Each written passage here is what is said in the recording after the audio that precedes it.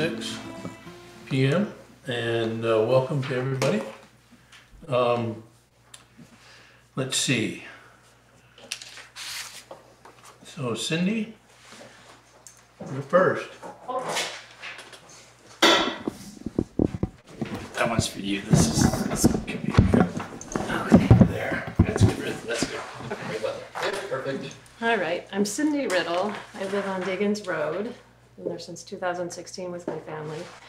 We live at the um, Fire Pond. Um, It's a class four road. And I just have concerns about new development in the area and wanted to start a discussion of if there's gonna need to be some upgrades on the road. And there's been rumors in the past that have kept the subdivision dormant um, that's across the street. So I'll try, I'll read from my notes because I'm gonna get distracted and, but I do have concerns about the class four section of Diggins Road. The class four section starts at Jim Fontaine's driveway and continues on to the end of the road. That's all class four. The town has been plowing up to the fire pond, and that's the section I'm concerned about, is from Jim Fontaine's driveway to the fire pond. That's all class four. The Kusro subdivision is, it enters right at the, at the fire pond. It's been, it was built seventeen years ago. It has eight lots. There's been no development in it. There are no homes. Um, But now one of the lots has been resold. They've all been sold numerous times. Um, And that owner is preparing to build and put in a, a formal permit to the town. They're working towards it.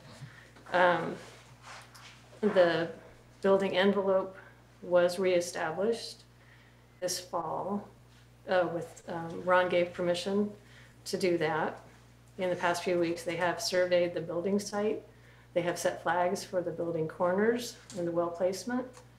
I spoke with the owner today, and they're hoping to build a 2,500 square foot home, and they would like to break ground this summer. The architect is scheduled to have a preliminary meeting with the DRB next week on March 29th. And as one of the homeowners on that road, of Diggins Road, I hope that you can help us understand what is gonna happen now, now that the subdivision is going to be moving forward. What happens to us? And what happens to everyone on the road? Um, will the road need to be upgraded to class three on that steep section? There was erosion control done last year. The ditches are much deeper, thank you very much, it's wonderful, but it is, feels slightly narrower, and I'm not sure it's because of the ditching two large vehicles cannot pass on it, and I just skipped over, I shouldn't have. Um, anyways, the road is steep. Um, who will pay for upgrades if it is the case? Will this new landowner be required um, when he gets his building permit to up, pay for all the upgrades to that road? Or in, there's been rumors and, or discussion in the past that all of the lot owners in the subdivision would have to share the cost. And some of them overpaid for their lots years ago. And it would be a shame if they had to, because they thought they were buying land on a class three road. So will the current owners that already live on the road have to pay? Or will the town cover the cost if that's what's, if the road has to be upgraded? If the upgrade is not required for this person to build, if the construction vehicles end up showing that that class four section that's steep cannot handle more traffic, will there be any options? Will the town come in after a few heavy days of construction? Will they come in and regrade the road so that it's passable for all of us? Or will the construction crew be required to run a, run a roller on it so that it not, it's not degraded? I don't know the rules. I'm not a contractor and I don't know any of the answers to all this. Um, there's also sections of the road that are too narrow for large vehicles. And last year there were cases where the 16 yard trucks were coming up Diggins Road. 16 yards trucks were coming out of a driveway.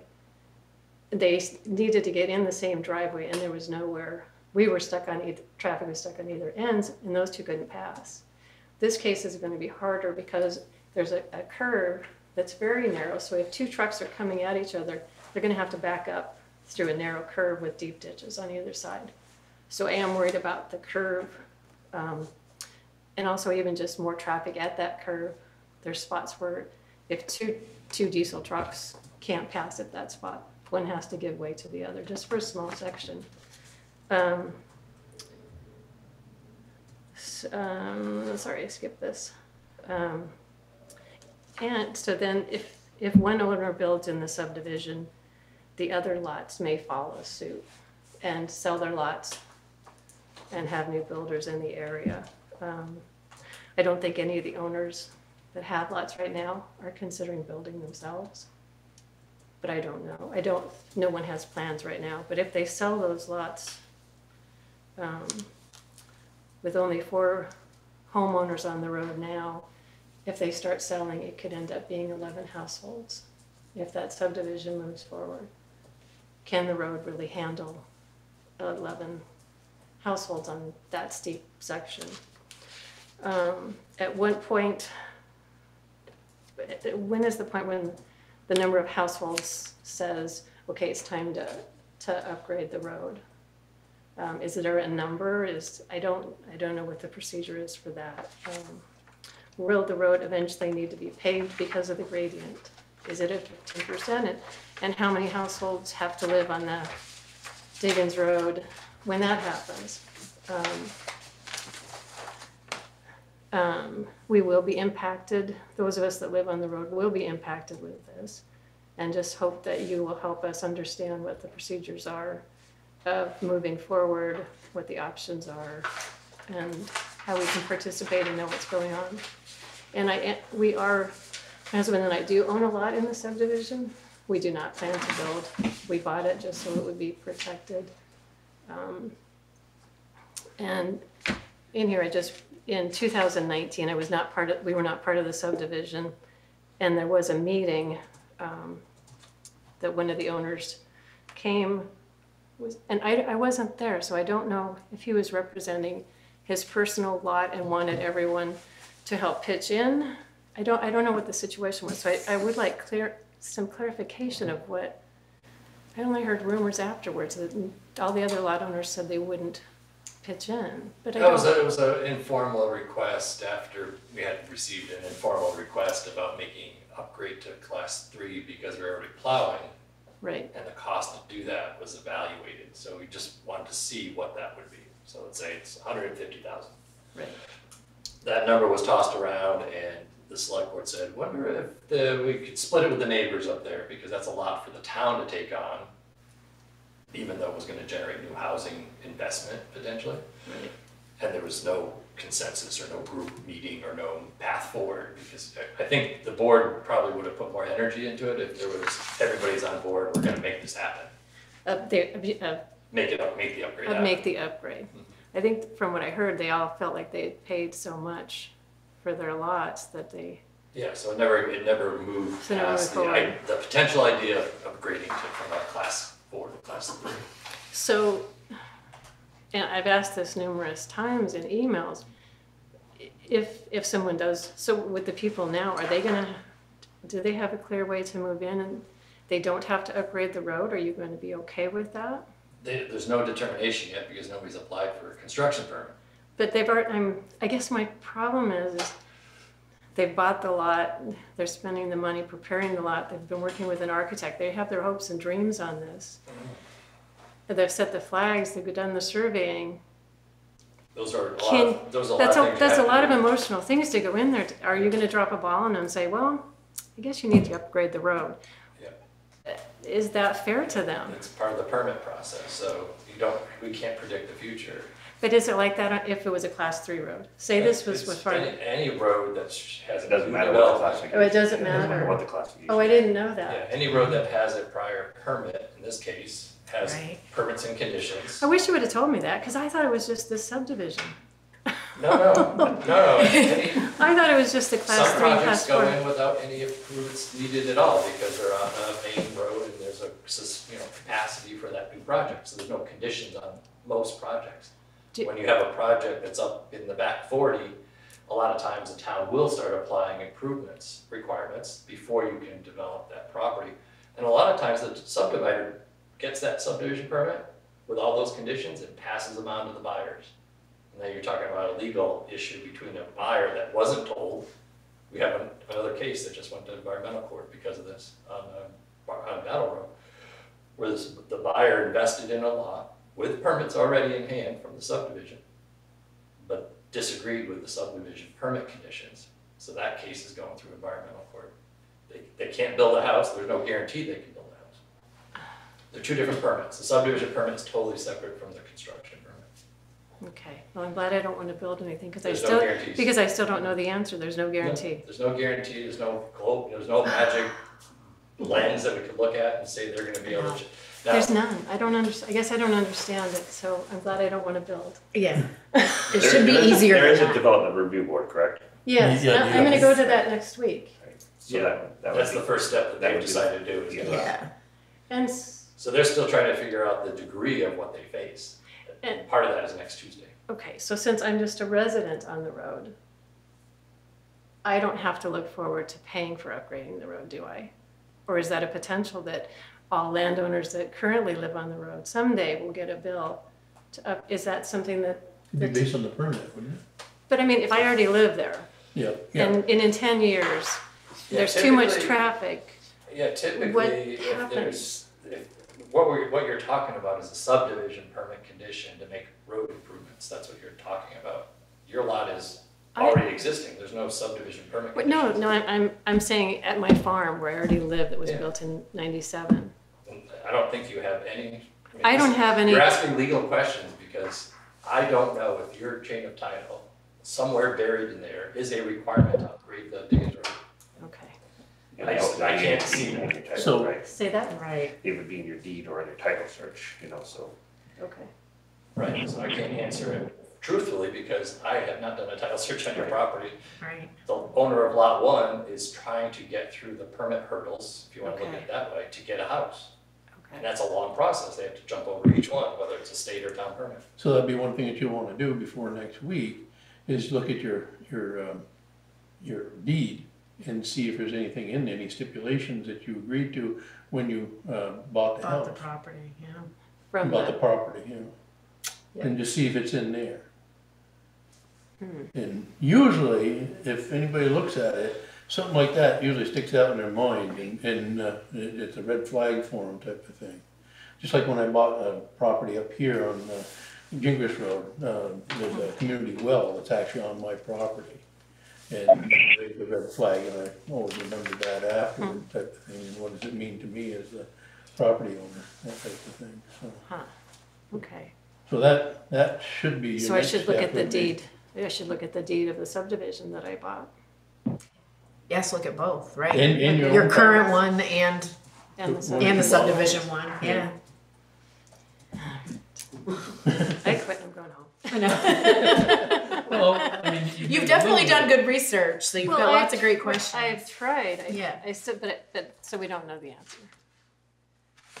bit. It will- Well, we do. It will resolve itself one way or the other, Yeah. but there's no answer tonight Yeah, But, but your, your deed might, might tell you what your answer is, on your Yes. particular property. on, on your, yeah. The lot one will be resolved through the permit process. Okay. All right. Hopefully there's some help. No. No, I didn't want me at all. Oh. All right, I give up. I'm gonna try to be at that board meeting too. so- I'll be, yeah, I'll come next, I'll Yeah, come next so. I'll try to be there. Same place, yeah. Same place, same place. All right. thank Thanks, you. guys. Good luck. Yeah. Yeah, thanks. We're not doing good things. I know. Have a good evening. Yeah, I'll see you next week. Thank you, Rob. Have a good night. I can turn that, can you turn that, or are you gonna come up? Yeah, if you don't mind, but. Yeah, please come on, in.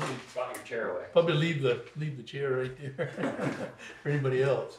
Well, my name is Bill Hogue. I'm the owner of Two Sons Bakehouse. Just opened up uh, Oh, yeah. two weeks over here ago. on Main Street. And uh, thank you. Uh, I'm applying for a liquor license. And I just want to introduce myself to you guys. Answer any questions, comments, or concerns you might have about that. That you're, you're a good candidate for these, which are later on the agenda. So we Okay. have, we have it from the town clerk, so. The- And his is in there to Yep. approve? Yep. Oh, good. Yeah. Yeah, J and, J and Or C, make right? sure. Yes, Okay, yes. So, a lot of times, uh, just for board's background, there, there's usually two times when you have a liquor license discussion. One of them's today, Okay. first time, first timer, so to speak. Yeah. Um, and then whenever there's an incident or multiple incidents due to the, um, alcohol beer presence. And that's really because you're potentially, as a licensee, are not following the state rules. And that feeds out to the community, and then the state has enforcement, and the town's own, only enforcement is not issuing it. Right. Got it. So generally, it's just a, uh, annual renewal, and Okay. everybody keeps moving along. And there's no issues with, unless you individually, or have somebody come to a meeting and say, there's big problems with that new place, and then we'll investigate, talk to you Sure. and all that stuff, but That's it. we haven't had that issue with Ten Bends Brewery, we haven't had the problem with VFW, we Fork have- and Gavel, did they have? yeah, they're the third one, Fork and Gavel. Right. But did they have a liquor? Yeah. Yeah, he Yeah, did. every, Yeah. so those three are the only So, ones that you normally The, would the, see. the Right. history looks promising. Yes. Yeah, oh, that's Yeah. good, that's good, I Yeah. appreciate that, yeah, yeah. But then I also wanted to meet you guys. and Yeah, we appreciate you coming in, Bill, and, Yeah. uh, thank you for choosing our town to, uh. Well, it's a good spot, I kinda like it there. It so- is a good spot. Yeah, yeah. Yeah, so, Are you gonna do Yeah. outdoor, outdoor seating? Well, yeah, he built those patios out there, so I I like to do know. that. Yeah, Um, You know, not, not trying to do anything too crazy, uh, but we are gonna dinner, yeah, uh, Oh, uh, by the end of April, we'll be doing that. yeah. great. That's why I like to have a little bit of, uh, cocktails in there. You had a really sure. quick startup, I think. Yeah, He called me once and I think I'm gonna open in a month. Like, okay, that's pretty good. I think you did Yeah. it. yeah, I did, You got your mindset on something, you do it. right. Yeah, right. good, So it's, uh, good. it's gone well so far, and uh, I just wanna keep plugging away. Great, great, I'll be looking forward to coming over and, and, uh. You haven't been yet? I haven't yet, no. Yeah. Oh, Well, you better get in there. You then. better get in That's what I'm there. Well, then I'll let you guys get on with the rest of your night, but I did wanna introduce myself, very and uh, thanks for taking the time. We'll get that moved. Next time I come in, I expect you to come to the front though. Well, you gotta ask for me. If I known, if I that. known you were out there, I would've they, I, I asked about you, they said you're in the back. I said, Yes, that was, uh, our busiest day yet so far. Yeah, yeah, very good. So that was a good thing. Well, thanks for your time. Everybody have a great night. yes, thank you. Take you. care, Bill. And then I'll see you on Bethel, I guess, huh? Welcome to- All right, take care, guys. See you later. Take care. Is there anybody that Roland's online? Oh, there he is. I can see him. You see Su- Can you ask if Susan's back? Uh, Susan, uh, Bartlett, are you there? Silence. Hi, this is Denise Green. I'm here and I wanted to, I came in to just talk about the, um, the, be the change and, um, the meadow permit, I guess you're looking for, the donation. Um, and I just wanted to say that the Hyde Park Energy Committee is, um, is really committed to our Love Your Lawn campaign. This is a really nice part of it because having some of the property at the town office converted to a meadow is is really going to help us with our program. Um, you know, people will be able to see what's being done and they'll be able to enjoy it and um, and understand a little bit better about how to do this in their own property. So um, I just came in to to say that and hope that um, you will approve that. Um, that little upgrade in the property being put into meadow. So, and I have to run. So thank you for your time. Okay, Thank you. All right. thank you. Thank you.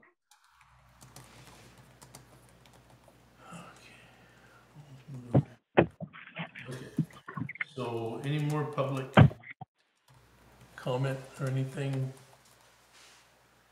Hey, Ron, it's Mike Foss. How are you? Hi, Michael Foss.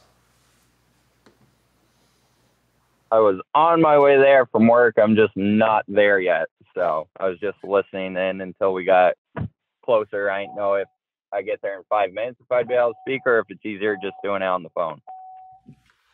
Uh, it's up to the chair. I think we have an agenda item for you at some point. Yeah, we do. I mean, it's at the end. Yeah, Okay. I just want to let you know I am coming. Yep, good. You're on your way. Okay. Yep. Okay. We'll see you when you get here, Mike. All right. And Liz Courtney and Al Spitzer from Gihon Valley Hall are here, but I think we're the next one on the agenda, so we can wait and if there's anyone else who isn't already on the agenda.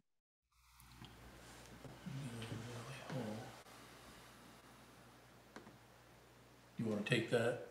Guyhan Valley, Hall. Yeah, Yeah. try to stay in order because people will come in and. So, you wanna do the slate of, uh, town orders then? Um, no, G- GVH is first Okay. on my agenda, number two. Okay. We did it the wrong one. You Ooh. Yeah, so yeah, go ahead, go ahead, go on Valley Hall. Okay. Um, so I guess there's two things we're here to talk about. Um, I can briefly talk about this um, grant that we want to apply for, and then Al Spitzer, who's our chair, might be able to speak more to the, the second question, which is about property lines.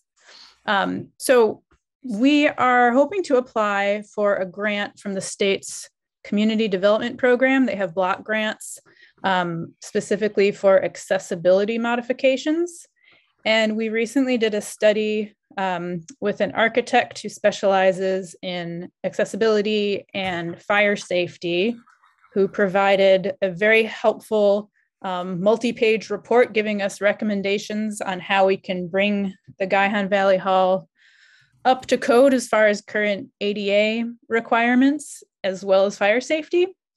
So we have a clear picture of, of some of the work that we want to do. Um, it includes things like widening the ramp out to get into the building, um, widening the accessibility to the bathrooms downstairs, um, redoing the first floor ceiling so that it's up to fire code to allow us to start doing events on the second floor, um, and adding a second floor, a- an additional exit on the second floor with an exterior um, fire escape stairway. So we wanted to speak to the select board because this grant is not something that we as a committee can apply for directly. We can do all the work of, you know, writing the grant and um, all the follow up on the grant, but it needs to be applied for actually by a municipal official. So we're asking for your blessing to go ahead with beginning the process of applying for this grant.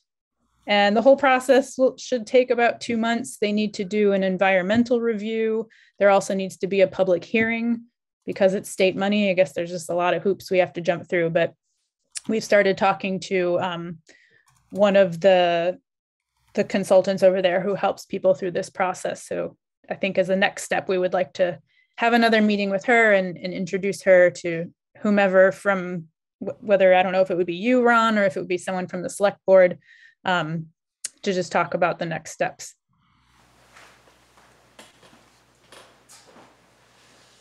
So I guess our question is, do we, do we have your blessing and who might be our person who would work with us on applying for the grant? Okay. So would that be you, Ron, that's playing, helping them play? the Yeah, so, uh, think of it in a multiple step process, Liz. So the first step is tonight where you would get, uh, uh, cons- uh, consent to move forward with the application. And that's, that means the select board's not gonna pull it out at the last minute, hopefully, and say we never should have applied, you know, because it's a little bit of work on these particular grants to get things together. So the concept is really ADA fire safety and preparing the second floor for better use. So the concept of the application is pretty clear. The details of the application are what you'll need to work on next. And it's sort of like the choice of do you have them come back with a just about as complete application as they can get due to the timing of the deadline versus your meetings and present the application and maybe has a budget and those kind of things. Or do you let them just go for it and then you decide on the grant award whether to accept it? So those are the kind of the immediate steps. After the grant award, Liz already said they'll take it from there and do grant compliance and make sure everything happens and reporting. Yeah. But the first few steps can be like a two-step process or a three-step process, however the board wants to go. We don't have a lot of information tonight, so at least one more checkpoint, whether that's before the application submitted or before the award's accepted. I think that's how I'd outline. Are, are, are you requesting any match towards the grant? This is a, this is a, So they would require us to pay for ten percent of the total cost. And right now, based on, and, we can, we, can- the grant is up to a hundred thousand dollars. And based on what we have from um, Bill Gallup, the architect who put together that recommendation for us, we have about a hundred thousand dollars worth of work that we could do um, easily. We would talk to Julia from um, the community development program to help us maybe narrow down the scope of the project. So maybe we don't do all of those things. It kind of depends on what would actually qualify. for accessibility. So like, I don't know yet if some of the fire code stuff would count towards this, to, like towards this grant. So if that would be in the scope or not.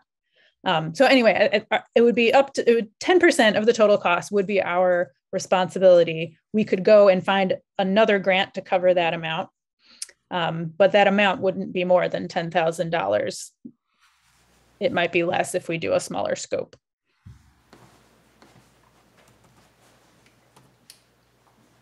So you'll have to do some, you, you gotta have a layout, I guess, of, uh, of what, uh, what you're looking to spend it on, right? Uh, You've got an idea, but you've gotta have more specific and, and probably pricing for those items to be done?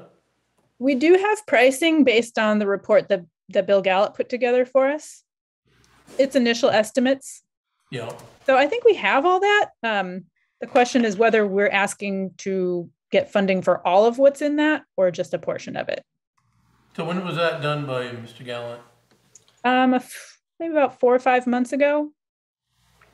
Okay. Fairly recently. How much your, uh, your costs of, uh, of construction materials and stuff like that, cause they're fluctuating, uh, Yeah. pretty well too, that can make an impact into it as well.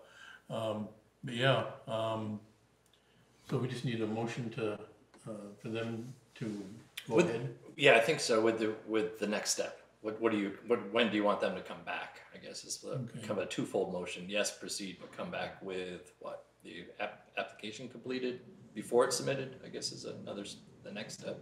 That's what you say, so. So moved. Yeah, I, I, Okay, Second. I second it. okay. There's no, there's no, co- there's no cost to the town right now. That's No what that's cost, what no we're cost, and, discussing. and and they're, There's no, they're, ti- I, I think. yeah, they just need They're doing the to, work, yeah, let's move forward with it. Yeah. Bring us an application, we can read and understand it. yeah. So you got the okay to go forward. and Okay. then, uh, Let us know, uh, when you've got your, your next step and we'll go forward with that, or see how we go with that.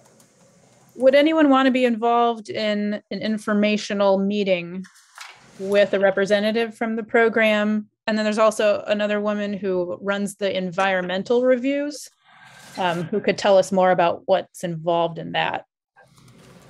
Do you want us to just do that and report back, or would anyone like to join that meeting?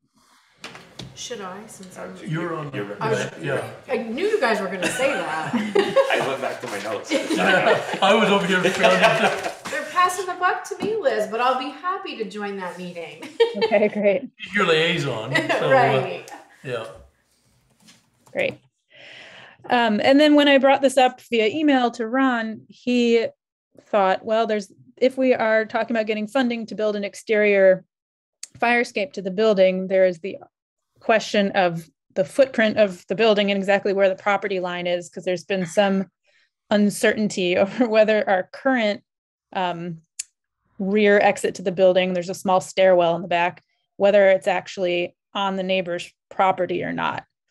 Um, I don't know too much about this matter, so I'm going to pass the mic, I guess, to to Ron and Al to talk about this and what we're looking to explore.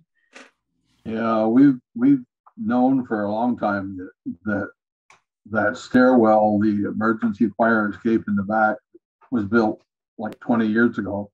We've known that that, that's not in the, uh, right of way of the building. Uh, All the maps and deeds and things say that the property is the drip line. And I actually was up there today and there was a little bit of snow and it's pretty obvious where the drip line is. It's like a knife edge.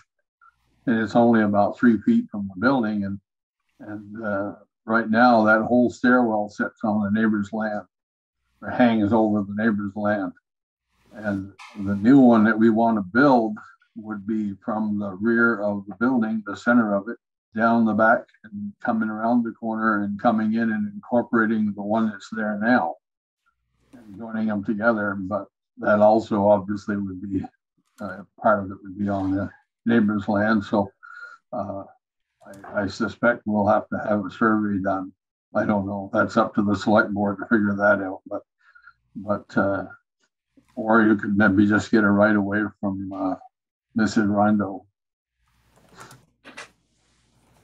But that's where we're at.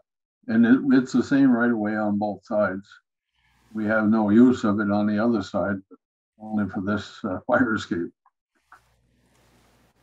Do we need to have an easement or something from- from the, Well, I- well, it came up with one of the preliminary application questions was, do you own and control the project, proposed project? no?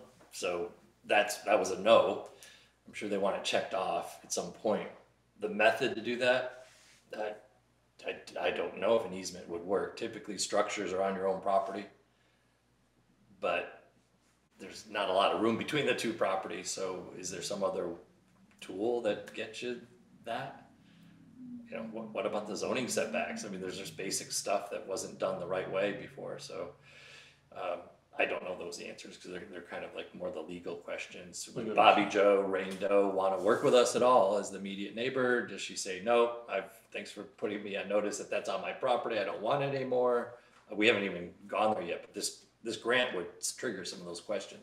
Okay. So I've done a little bit of preliminary survey, deed research. Uh, There's, there's nothing, nothing helpful for, I think I'm back about forty years right now. It's just, you know, from Mr. Smith to Mr. Jones, as deeded, you know, so I don't know where, maybe in the nineteen forties, somebody actually took some measurements.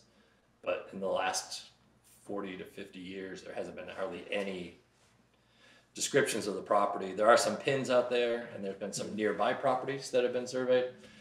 Um, So I talked to Matt Reed, uh, who's a surveyor in town, just to see if he had any new, and he doesn't have a lot in that area, so it would be sort of a newer survey. Um, I I can do a certain amount of that work in grabbing deeds and giving it to a surveyor, but at some point, somebody's gotta make sense of it all. Um, Possibly on April twelfth, we could have a cost estimate, just to see what we're really talking, is it two thousand dollars or twelve thousand? For the survey? For a survey to show where the actual lines are, Yeah, I think that would be something that. beneficial for the project to move forward. At least to get a ball, at least if not a ballpark, a pretty good estimate based on the recorded documents where things might be. Yep. Yeah. And that would an- start to answer your next question of what do you do when you wanna use neighbor's property, basically. Yeah. Do you have, do you have to buy that? Can you come up with an agreement? Uh, what about the zoning issues? Yeah. Okay. So we can kind of pencil that in for the twelfth, Al and Liz. Then we'll have a little more discussion on survey on the twelfth. The board is meeting on the second and fourth Tuesdays now, just for everybody's information. Okay. Okay. We're all set with Thank that? you. Okay, so, um, uh, Mike?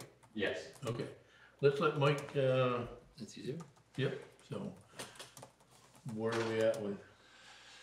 Uh, let me see. So on the agenda, we, all we have is a notice from, um, basically the court, um, court filings where the neighbors to Mr. Foss have filed an appeal with the Superior Court Environmental Division. And that process begins, really, it's all legal at this point. So in most zoning cases where things aren't quite clear, so to speak, um, where the town doesn't know if it has a big interest or a little interest, the town attorney will file an appearance. That loops them into all the filings and court deadlines and gets them on like a certificate of service. Yeah, Um, we haven't been asked for any new information from the court. We haven't been providing anything. All we did was submit that the town attorney would um, uh, enter the town as a party. The select board's role is really about the, the level of energy you want to put into it based on the impact to the town as a whole. So if somebody was coming at a case and said, oh, we, we disagree with that permit because your zoning regulations are ineffective and it affects every property in town, you probably elevate the town attorney's time. yeah, On this one, it's, it's a, the, from the statements that were filed, it seems like it's related to the no-build zone and whether or not the DRB could have granted approval the way they did. Um, and the neighbors objected to that. So without any more information or a trial date or conference that's been held, usually there's an initial conference. I haven't seen any notices when that might happen. The, the judge may ask for all the parties to show up in a room and see what, what this is all about and then decide how he's gonna, the court is gonna handle it. We haven't gotten that far yet, so at some point, the town attorney will say, oh yeah, we had the status conference and we're kind of getting into these issues and I recommend. Keep monitoring, let the neighbors duke it out, so to speak. Be a more active person, put more town resources into it because there's some risk to the town bylaw or town zoning, uh, town plan, those kind of bigger issues that affect every other property in town. Um, But we don't know that yet. We, that'll, that'll evolve. So I don't, and that's a court schedule. We don't, we don't control the schedule on that. The court will manage it. So that's where, that's where we're at. Um, the town did have an option, as it does with any court case, to not make an appearance. But generally with zoning permits, because it kind of evolves, you at least want to monitor for the beginning part. And then the board and town attorney will decide where, where to, where it goes. So we're still waiting on And, more. and you have to decide too. I mean, Michael Foss is in the same position of what he does, because he could say, uh, I didn't want to fight that hard. I'm just gonna let the, let them make a decision and whatever they come up with is fine. Not gonna happen, you know? Other, the other one is he wants to defend what the DRB gave him, because that was what he applied for and that's what he got approved for. So he's gonna put some defense into it.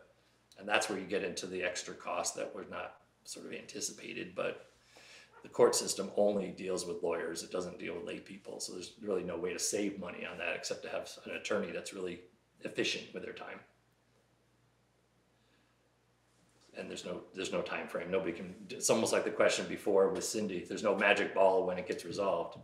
People need to work on it, push the court a little bit to get decisions for, you know, quickly versus slow, those kind of things, but. So, I don't know, I think I saw Frank and Dean up on the screen. I don't know if they wanted some time or they just listening, but I s the two neighbors are up there. So. That's all I have for an overview where we're at. Any more comment?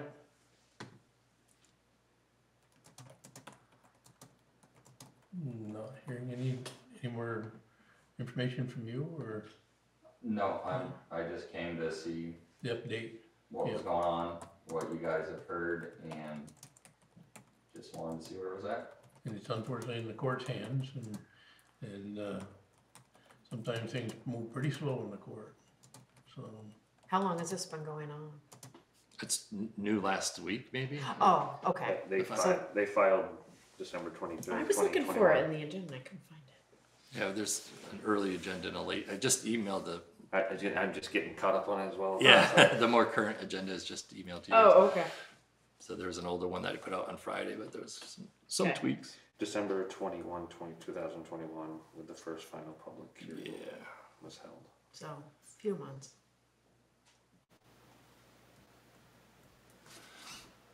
So that's it for information and, uh, wish there was more to tell you, but it's out of our hands in a sense right now at this point. Just so I educate myself, so he filed for his permit and in the filings, somebody appealed. Yeah, he, he applied December maybe sometime, the DRB issued a decision. And before the appeal period was off, they appealed that, it was an approval of what Michael had submitted. And there was some issues about survey and the house location. On the survey, there's a area boxed off on the survey that says no build zone, which is where Michael wants to build. The town DRB felt that that was not part of anything in the zoning, so they approved where Michael wanted to build which sort of left the neighbors up to a, a dispute on the value of a survey with a no build zone. And I, and that's what the court is gonna have to make a decision on. Gotcha. Yeah, I couldn't see that in the survey where it's, I see where he drew the house, but I couldn't see where it shows a no build zone. Yeah, that's on the recorded survey. I think you have a sketch of where, he- Yeah. where he wanted to build, but.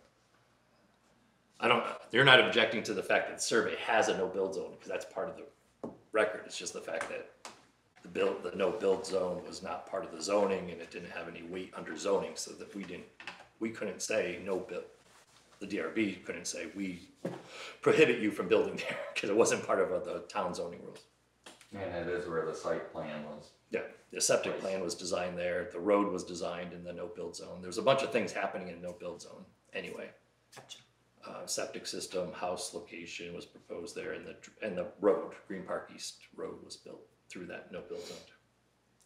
And that's based on a wetland boundary. Uh, there's no wetland boundary, it was just a, uh, No, it was over a handshake deal of someone scribbling on a map saying no build zone to make people feel better. yeah, it was to, it was totally a deed issue, not a environmental issue, yeah.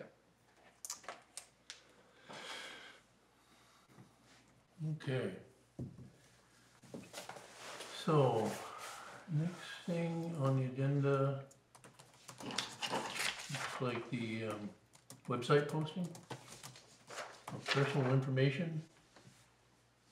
And I got a statement that I want to read uh, in regards to that. Uh, The town of Hyde Park is investigating an incident that was made aware of uh, from a third party uh, regarding a vendor list which was inadvertently publicly uh, available for a limited time. Upon learning of this issue, we immediately removed the document from the, from our website and commenced a prompt and, and thorough investigation.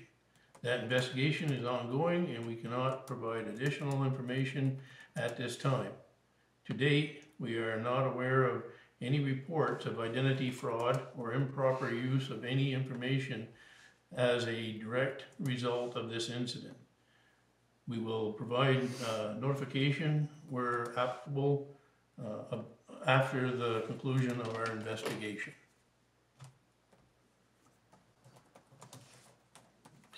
Does anybody else want to have any comments or anything about uh, the uh, breach of information that happened on our webpage?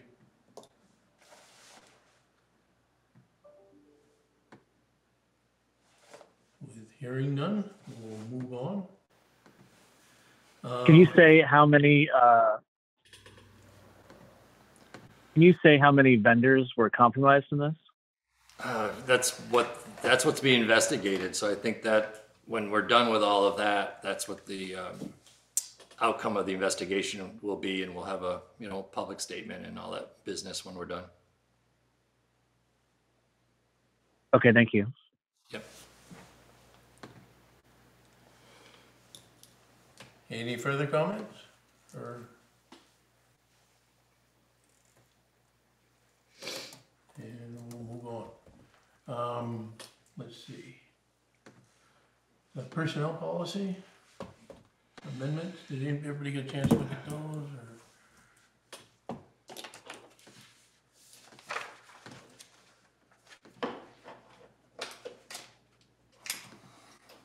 Oops, Wrong one.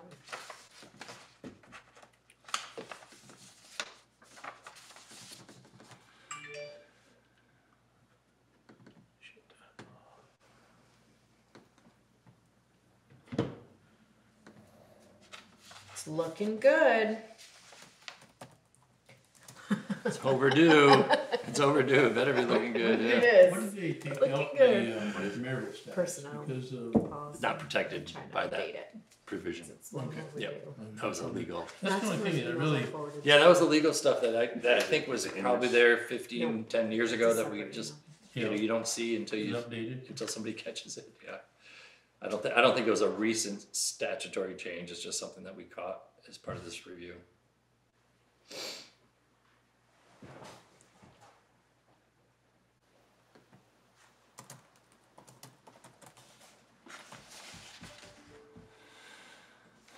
Any questions, comments on the personnel policy? I've read it so many times now. Rob. Do we need a motion to accept it, or? Yeah, so tonight was a checkpoint, um, just to make sure everybody had, this included a, a much more detailed survey on, or a summary on the first page. A lot of those things are, were there, they just, I didn't, I wanted to bring them forward to the first page so everybody can sort of get a quick look versus trying to find everything. Um, the draft changes have been talked about by the board for three years now, because we started working with the fire department way back Yep. Um, and trying to do their bylaws, then the personnel policy was second. And, That'll be updated. yep, yep, that's why it's, yeah, we had to, Yeah, I understand. yeah, we had to wait for that. Um, so yeah, the, other than just going through and cleaning up the strike version and, and I think that Brian just showed the only spot where his name needs to be inserted under the sexual Just harassment because of the provisions. Yeah. Yeah, if that's something happened, they come to me. Yeah, part of the, part of the harassment law is that you have to have a person uh, designated by Yeah. name. So we're- we'll Yeah. update that for the chair of the board. And that should happen every year when the chair changes or every two or three years, whatever your Yeah. schedule's gonna be. But other than that, the personnel policy is relatively stagnant. There's just um, a, a good practice to do it five years or less and we're Yeah. Getting into year six. Yeah. A lot of these Our things were employees, added. our employees are signing on to these every year. Uh, new hires do, and then if there's a revision, they do. Yep. Not, ev- they don't get a copy every year, but they'll get, all get revisions of this. Showing their understanding. Acceptance of the policy, I think is, the- yeah. Things that came up and things like They, that. they decide whether they understand everything in it, but Yeah. yeah. Yeah. it- it- Handing it to them and getting acceptance is what we generally do. Any questions, Roland, from, uh, about the personnel policy? No, I'm good with it. Okay. Can I get a motion to accept it? Yes, so moved. And a second? I second. All in favor, signify, signify by saying aye. Aye. Anybody opposed, abstaining? The ayes have it. Too many things open. I didn't fill one of these out when I. Okay, making progress. Um, We don't have to. Shouldn't we have to? Mm, Probably. We're employees, right? Yeah, all the committees and boards are supposed to sign off on it. Like, hmm, we'll get the new revision. There's some things in there that apply anyway, True. so Yeah. not everything applies, but some of it's good to have in there, so Yeah. committee members don't get scared too much, but if you tell them we, you know, we, we just want them to read it, that's, we're not gonna, Yeah. we're not gonna throw it in everybody's face uh, every day. Just, re- just developed a code ethics program for my company, so I kind of get. that Yeah. stuff. Yeah, no, it's really about having it in place and letting people have it, and if you need it, it's there, but generally you don't need it, hopefully, if everybody's Okay, the next one I think is Communicative. the local board of health and, uh, uh, the Rooney, uh, place at, uh, three thousand thirty-three Center Road. Um, where are we at with that? I see that, uh, uh, Susan's up there, Mike's up there. Yeah, so the um, Hyde Park Local Board of Health issued a health, final health order on the twenty-second of February. Um, Health orders have a thirty-day appeal period to the State Board of Health. Uh, the, Michael Rooney and Susan Dorn appealed to the State Board of Health. And the next step is to wait for the hearing officer to schedule a, similar to the environmental court case with Mr. Foss, um, a status conference, so that that board can figure out where things are at and uh, what the issues are and sort of get their head wrapped around what, what's gonna happen. Then they start managing the case. So that won't be us, that'll be the hearing officer for the state, uh, Department of Health. Uh, goes up to the commissioner's office, Dr. Levine, eventually. I don't know if he actually issues the decision or if it's an assistant secretary type person. Uh, but eventually they'll have a ruling. Okay. And it either will support the select boards slash board of health, uh, June one deadlines, because that's what's remaining in the health order, is a series of improvements to the building that are due by June first. Or it'll amend it or throw them out or whatever. I think they can do whatever they want with it at this point. Uh, but I think it's a little different than environmental court. I think they still have to use your decision as a guide and then make a ruling. And I don't know what all the factors are yet because we haven't had that process start. Same uh, representation, we'll monitor it uh, because it is a, a important issue to the local board of health. You spent a lot of time on it and you had some good deadlines on there to make improvements to that residence. Yeah. Um, so we will monitor it and see how it goes. I just, we haven't figured out to what level again. So both of these are very early, so I have Yeah. the same response. As you get through it, you'll decide, oh yeah, we should just, looks like it's going along fine, we'll back off, or nope, we're, we're gonna get more involved and, and have somebody designated, have the town attorney pick it up, whatever it Mhm. needs. another meeting, but anyway, that's where it's at today. Okay. Ms. Dorn or, uh, Mr. Rooney, do you have any comments or anything you wanna add?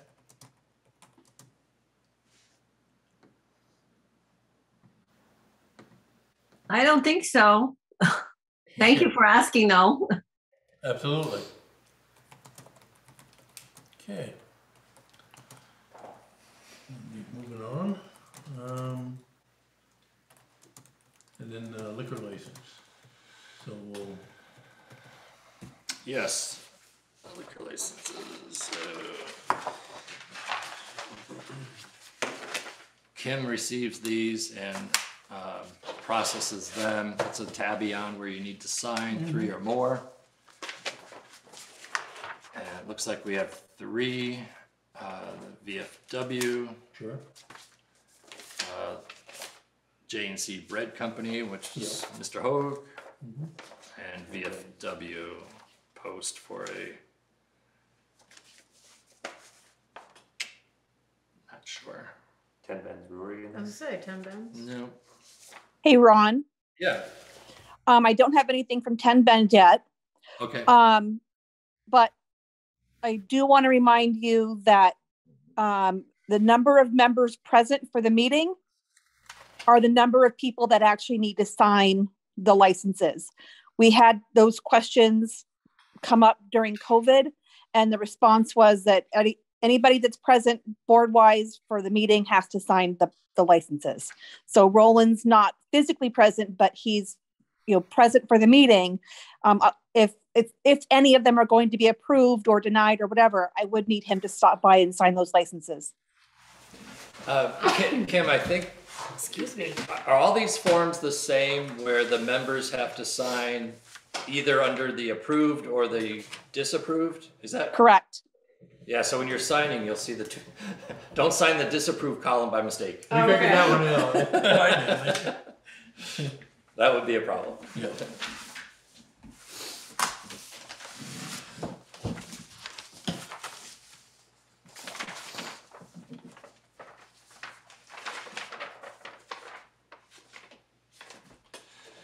Technically, you're meeting as the um, liquor control board for Hyde Park right now. So some, some boards will actually adjourn the select board, reconvene as the local liquor control board to take these.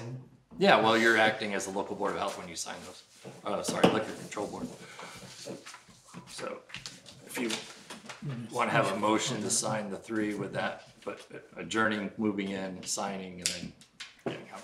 That, that would be pretty, pretty technical, but works.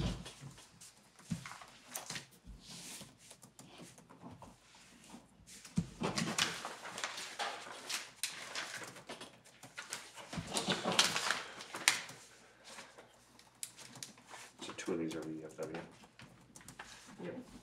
Yeah, Kim, it looked like there was like three maybe for VFW. Do you, one was like a twenty dollar fee? I don't, I didn't really, I couldn't figure out quickly what they're all the, So they have, they have a first class, a third class, and an outside consumption permit. okay, all right. That's sort of what Ten Bends would do eventually when they get around to submitting. So does Bill need to look at the outdoor consumption permit?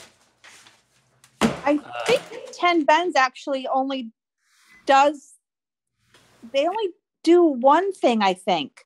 Oh, okay. I'd have to look at the history of it, but I think it's the outdoor consumption. Okay. Yeah, there was a, and I,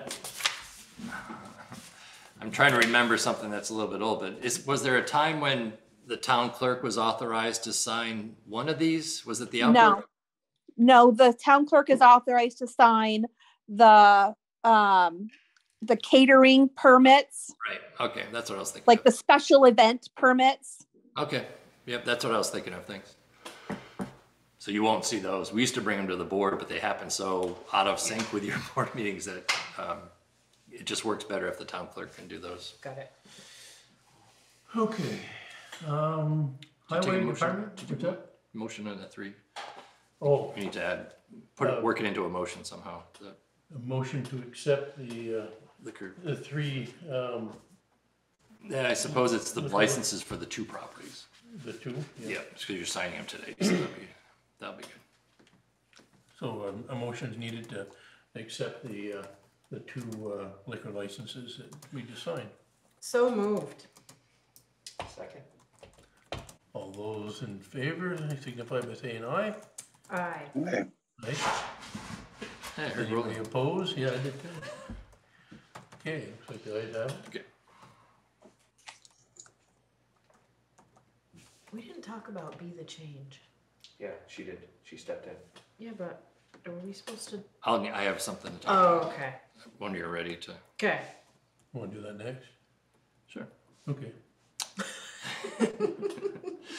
We're easy. Well, this is one of those uh, be aware discussions. Okay. Be aware. Be aware. Be- Okay. We weren't aware last time, uh, which is last spring when we let the hay grow up. And I don't know, towards the end of that event, I, I don't know if anybody took the time to look, but for some, that grass and the vegetation in, in the lawn, basically on the whole side between here and the highway, has a huge amount of different grasses, reds, yellows, green, dark greens, blues, and it, it only shows when it gets to mature. Yeah. Um, and we did have a lot of what this program was doing, a lot more butterflies, a lot more um, birds and bees and all that kind of stuff flying around in there. So the bee that changed has the same impact, but in more controlled. We're gonna mow here, we're gonna plant here. So bee the change came and they sent a flyer around. They're trying to do every town in Vermont to have, I think it's at least one acre of recovered grass to turn to meadow. And that's the back 40 of some municipal property or some park or whatever. Here we have a deficiency on the front walkway. Um, the trees and the vegetation is mostly dirt and gravel. You, you know, it's mostly dusty, mostly dusty. And they're going to come up with some plantings that will take, start to take care of that. And then the back hill we had three years ago uh, planted with wildflowers, and that was good for about a year and a half. And then the weeds and other stronger things take over, and now you have sort of a natural meadow. You don't have the flowers and colors that it did in the first. So they're going to redo that hill. The third spot is along the highway drive from um, Route 15 up, just like a 10 foot strip along their drive edge. So that this side, this side? on this this side Yeah. Facing So the where the, town where, office. where the bank is, right? Yeah, there, so you, right, that left So shoulder. that would save and retain that. Well, it ha- it's difficult to mow too. It is. You come around in there and it, the guys are, you know, trying to get up on that hill. And there's a really wet spot in the back corner, which is, uh, near where the sand, winter sand pile is. And there's a lot of water coming into that from the town property today. So I don't know if that's really gonna be a good planting spot. That's, it's just gonna be a bad place to mow, I think. Uh, so there's a two-year deal. They'll do this year, they'll do one more year of follow-up maintenance, and then the town will have to decide what to do after that. Um, but it's, it's, it matches with what the town energy committee had been, got approval for last year. Uh, Meadows was approved as part of their three programs by the select board last year. So this is really just a, kind of kills two birds with one stone. We're cleaning up some approaches to the public space. And then we're also taking care of, uh, their pollinator mission, which is the, the be, be the change idea. So, We're again, no letting the- cost, no cost to letting us. The front lawn grow up again though, right? The front lot, Right. the, whatever happens out front, I just have it perennials or something that comes up and flowers and mowing is the, the four trees, the four trees, two of those are probably gonna have to come down. They're kept now for The maples woodpecker. right outside here, they're pretty. Yeah, bad. along the walkway, there's a woodpecker feeder now, used to be a maple. Uh, on the left side, you probably saw the pile of chips at the bottom. And the other one's probably gonna go that way too, on the right side eventually. There's one of those in the backyard that's already converted, so we actually have two feeding stations for, that, that bird's at least eighteen inches big when it's on that tree. Healthy, healthy. Very healthy. And it has no problem knocking that tree down, you know, it's really crazy. So anyway, that's the plan for the property. It is a mix. Uh, this discussion didn't happen last year when it sort of naturally occurred. And then uh, Robert Laird came in and last year was sort of doing a volunteer mowing for us because uh, prior DOC crew, uh, the judges basically stopped sending help to the DOC work crew, which was our prior mower. Um, so Robert Laird, who's a firefighter, came in and decided to say, "Hey, I'll come in when it looks a little gnarly and I'll tune it up for you." And we gave him fifty bucks a mowing, and it worked out pretty well. He was sort of timely with it, whether it needed or not. He would make that call. Uh, he's offered to do that again, so I gotta have that conversation with him. And if DOC does get a four or five crew back, I was gonna say, you're gonna get crews back again? Well, there's nobody getting in trouble in Lamoille County. No. Really? Okay.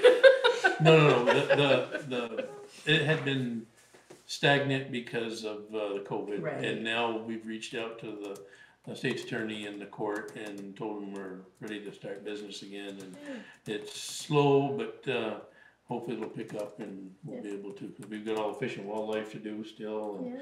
They were calling, everybody's been calling to find out, uh, what the status is, cause they want us back to, to do the work that Sure. were doing, so. Uh, time will tell. It's all in the hands of the courts right at this time, so.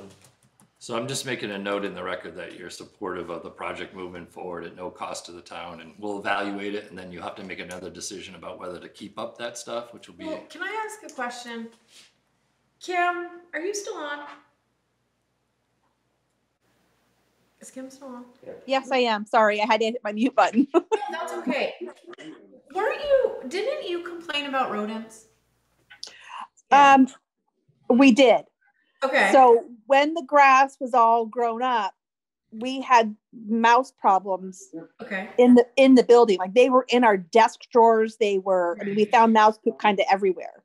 Yeah. Um, the first time the lawn was mowed last year, Jeff Holmes had somebody come do it. Or I guess it was the year before last year. I don't remember. Um, and that guy, whoever it was, said that there was a just a lot of they ran over a lot of snakes and mice and you know whatever.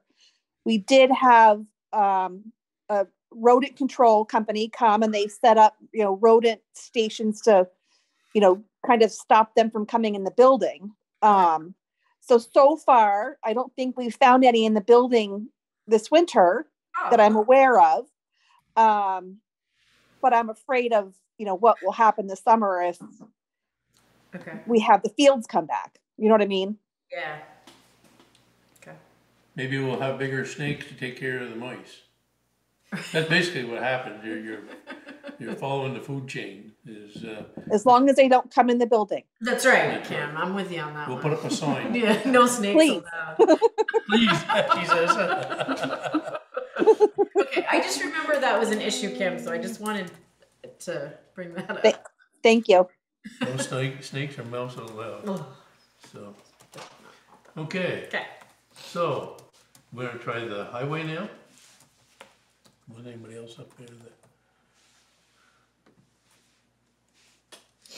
So, we're gonna start with the annual work for two thousand twenty-two. Uh, eleven thousand dollars for replacement, uh, uh, six grader tires. Ooh.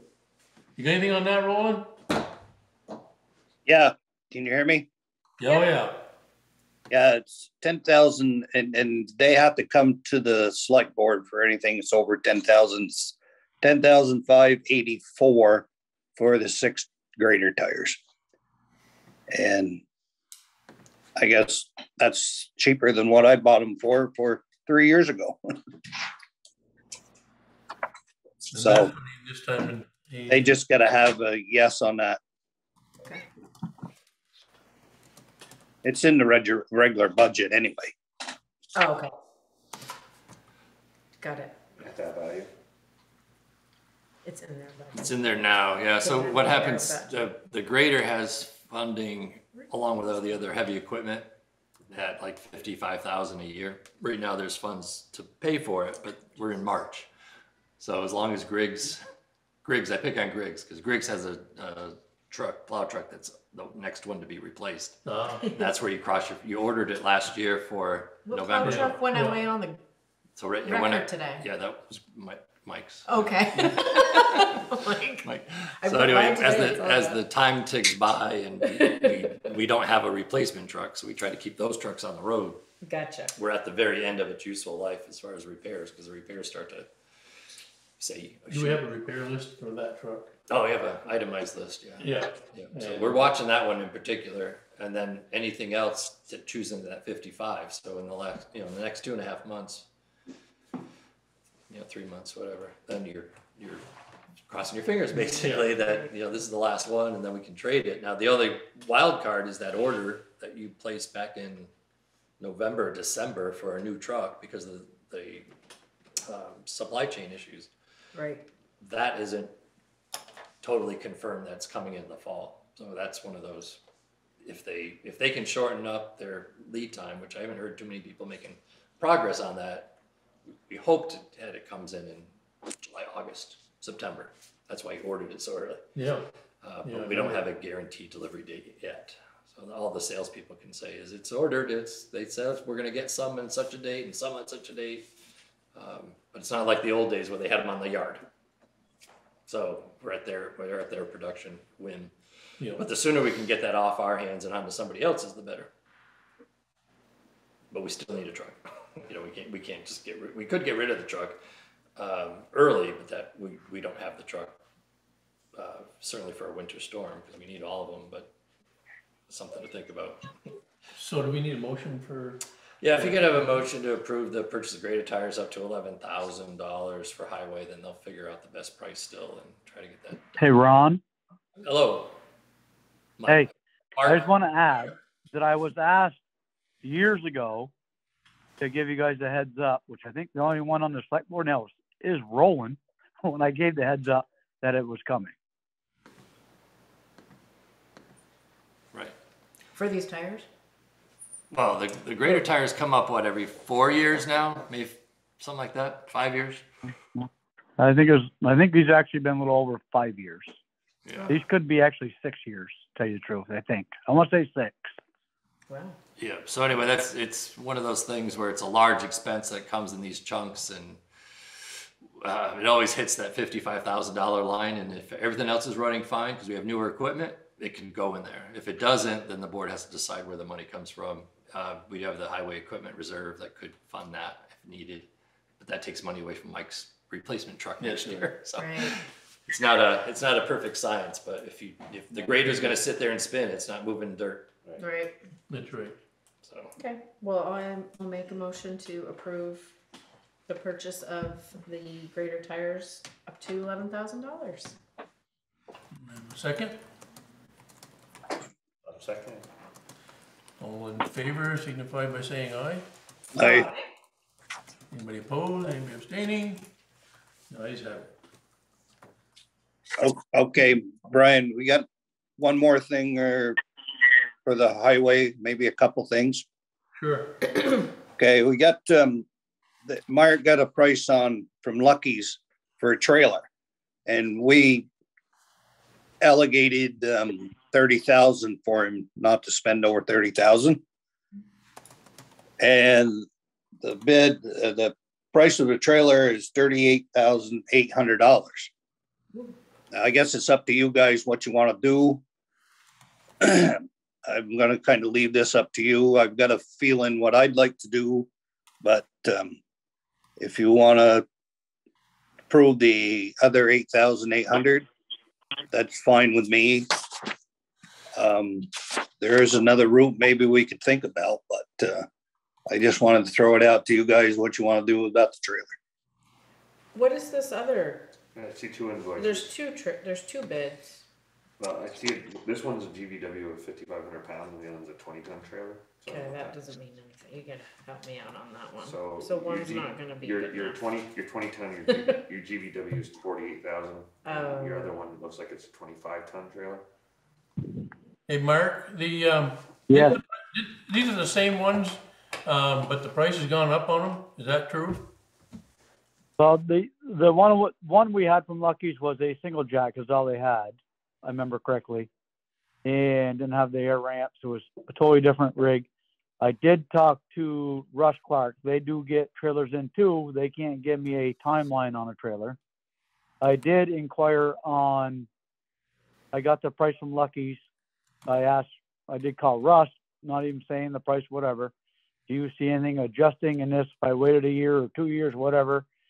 He says for the foreseeable future, no, you cannot see no pricing going down.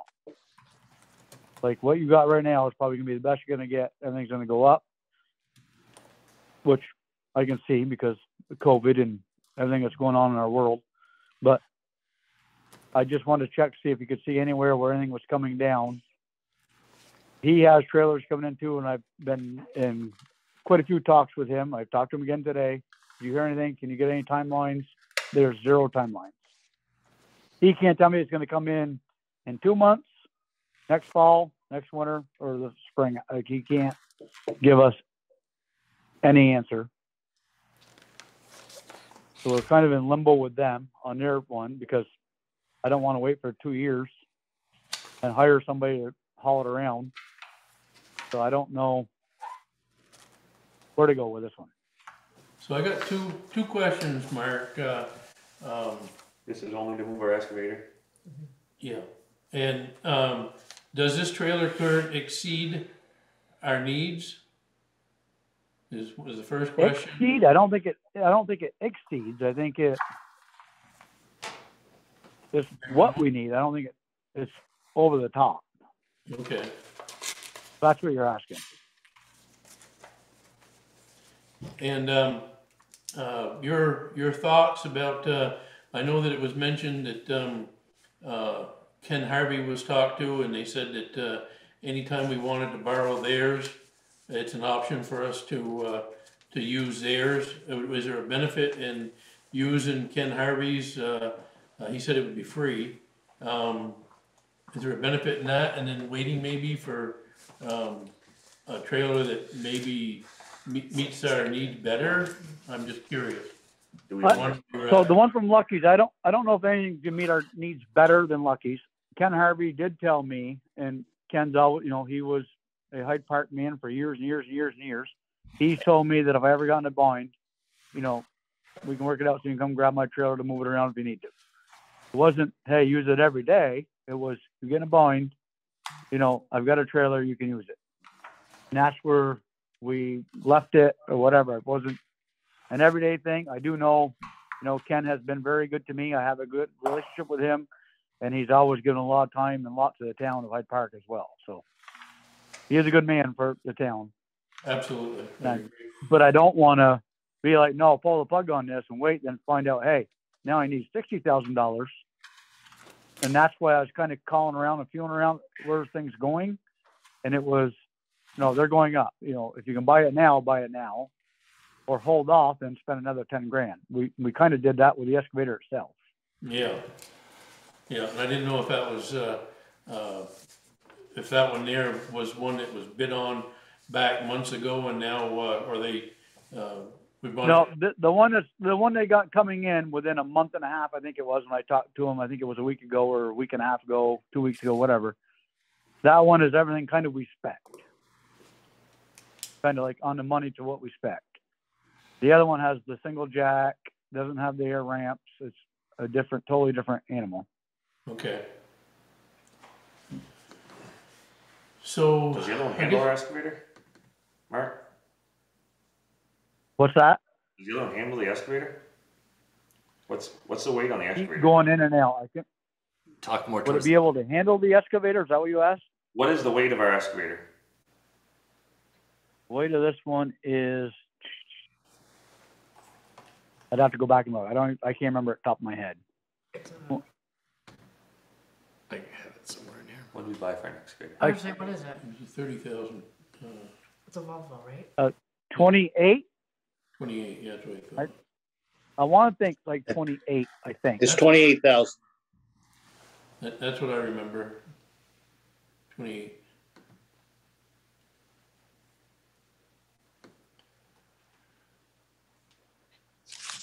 They should handle it. What's the length on this one, Mark? This trailer? Um, not hundred percent. Without going back into my email and looking at it.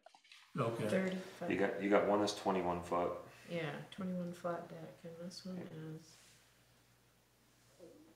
deck length twenty-four.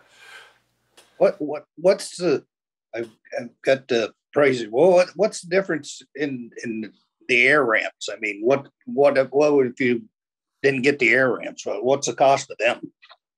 Well, the one time the guy bends over and picks up those his back out, you paid for your air ramps. That's the cost of them. I mean, there's not a Honestly, lot, of lot of air ramps out there, last- Mark. You do. There's not a lot of What's air that? ramps out there. There is or isn't? There isn't a lot of air ramps out there. They make it- Um, now, yeah, actually, if you look now in today's world, there is. Everybody's going air ramps. Nobody will go back. So no, that's that's wrong. No, everybody's going air ramps. The guy that delivered it, who was a self contractor, said he would never go back. Like air ramps are the only way to go.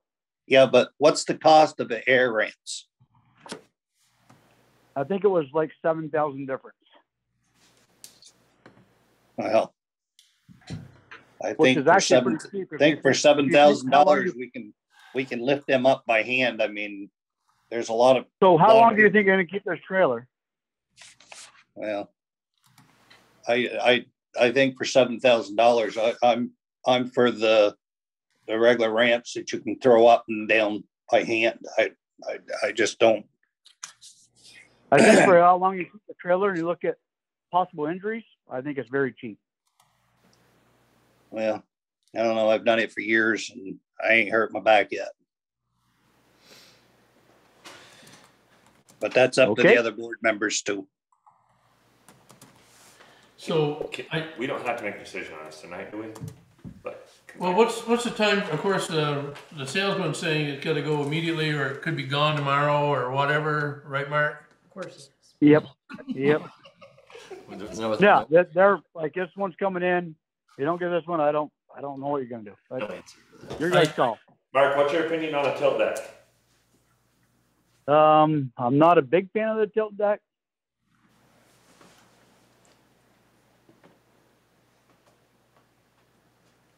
Okay. Why, you got one you wanna sell us? Well, no, I just think it, that alleviates. Right. Yeah, you- you these go to- ramps. You got the ramps, you get tilt deck, you it's more accessible, it's, you, My, um, in my. I've got multiple things myself. One is, so many people have said if you got wet tracks, it's a hard time getting up on it. I don't want to put the machine off the side of it. Two is when the deck comes down, you know, there's some pressure coming down on the truck. I always feel, which I may be totally wrong because they have tilt deck for a reason, but that initial when it comes down bothers me as well. Okay, so where, where we, we approved thirty thousand, where are we gonna get the eight? Uh, That magic wand of yours. Yeah. The, uh, yeah, twenty-three, twenty-two thousand left out of the equipment loan.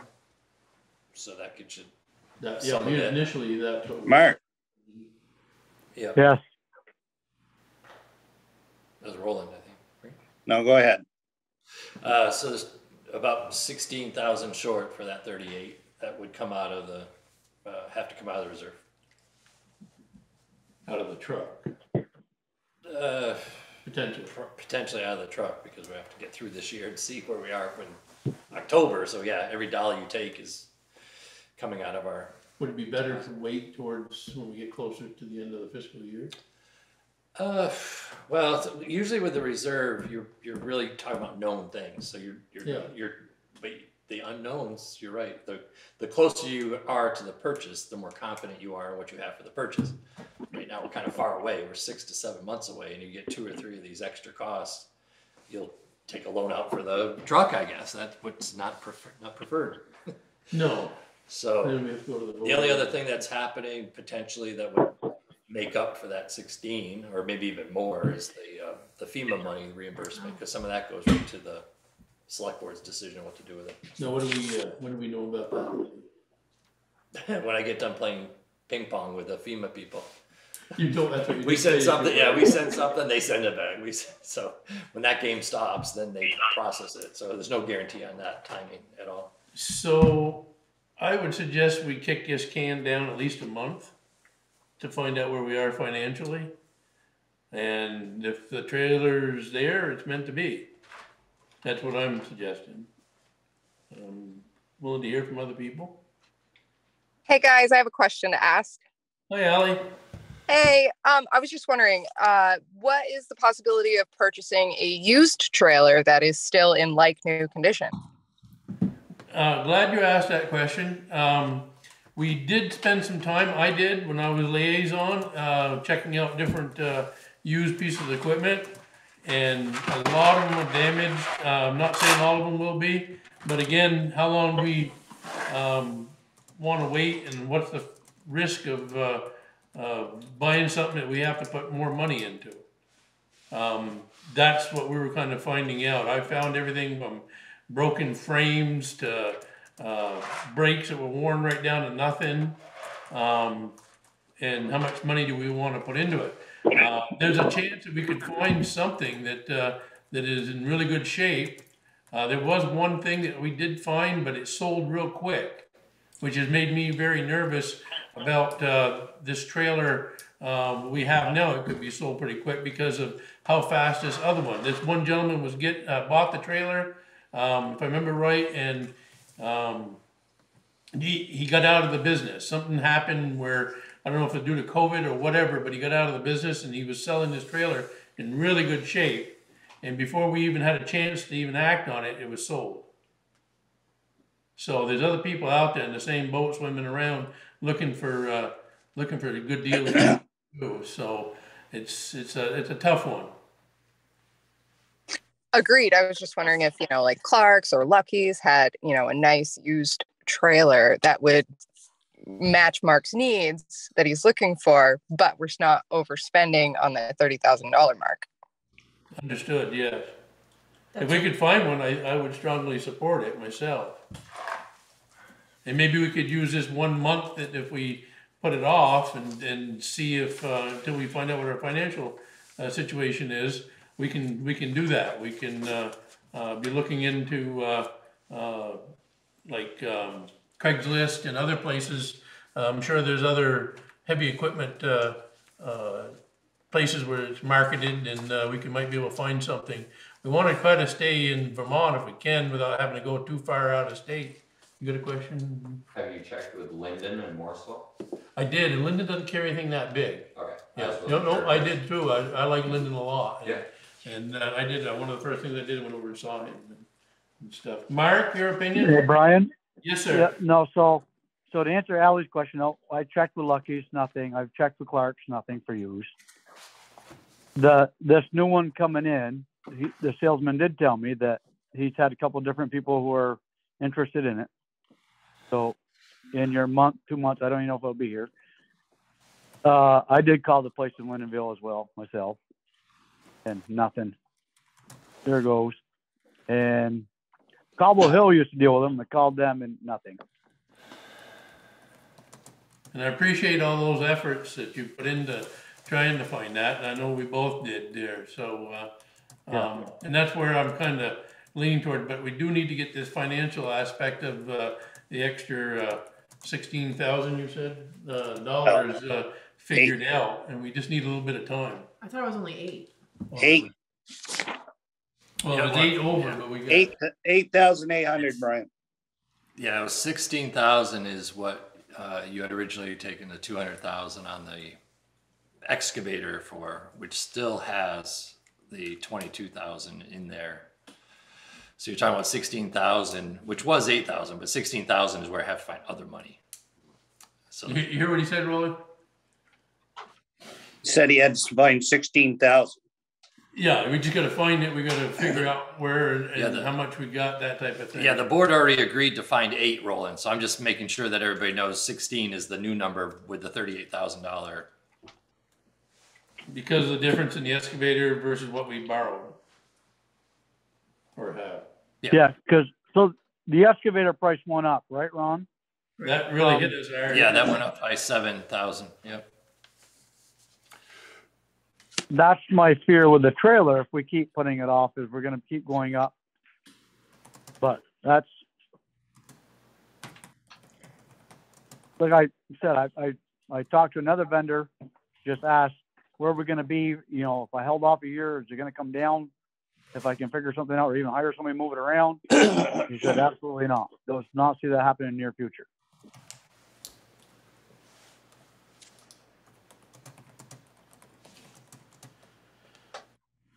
Matt, Chastity, where are you folks at?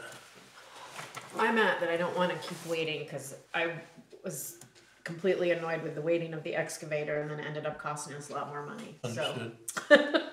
I can see it's gonna, I've been, I've been talking with a guy named Jeff Newton who owns Newton Trucking, who's selling his business, so I'm cheating texting him.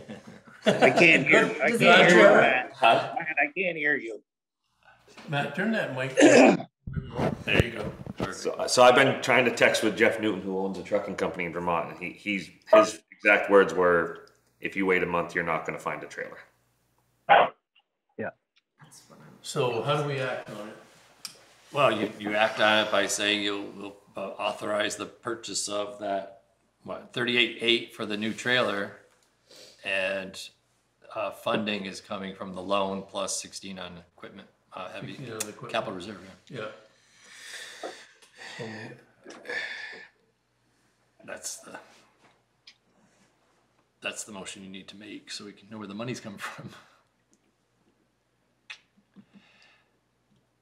Anybody That's want my me? thought. I don't know if everybody No, agrees no, with I me. mean, I, I'm, I'm on board with what, I mean, you guys just gave us some good. We're uh, meeting again in two weeks?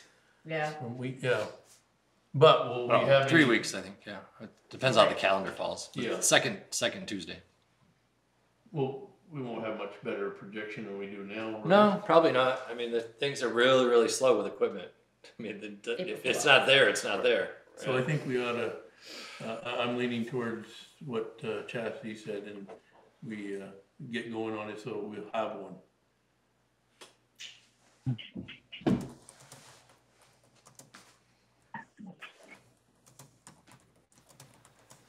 Roland, anything more? The only thing I've got to add is, that's up to you guys what you wanna do, but for the air, it's, it's, um, for seven thousand dollars. You can throw them things up and down. They're not that hard. They were, they're on springs. Um, that will save seven thousand dollars and they still have a trailer. For the air. But Roland, you can have over that in a workman's comp claim. That's where I'm at. Like, you'll have over that in workman's comp claim. And what did you say? Mark, Mark, you got two guys there. You can take them if it's that heavy and put two guys on them and pick them up. But I picked them up myself many times. And I'm just thinking, you know, the town is thinking about the dollar and you got to think about it.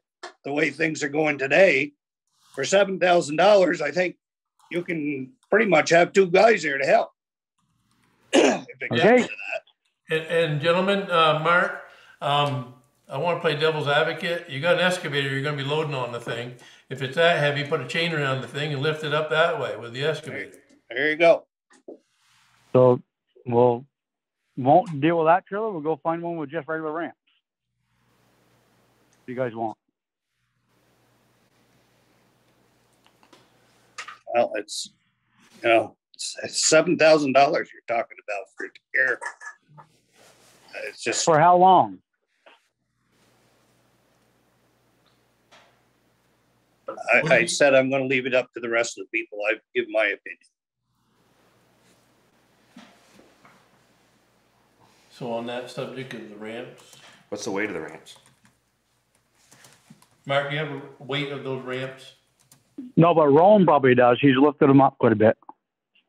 Yeah, I've lifted them up all by myself many times. Many What's the weight? I don't know, maybe forty pounds, forty-five pounds piece. They're on springs anyway. They gotta be heavier than that, aren't they? I have no idea. Yes, sir. You got something? you Well. I know I don't really hold any weight in this, but what I'm thinking. You might. is- I know, right? He's a what I'm taxpayer. Is, is with having to wait, if you wind up spending seven grand more on the trailer and you could have got it with air.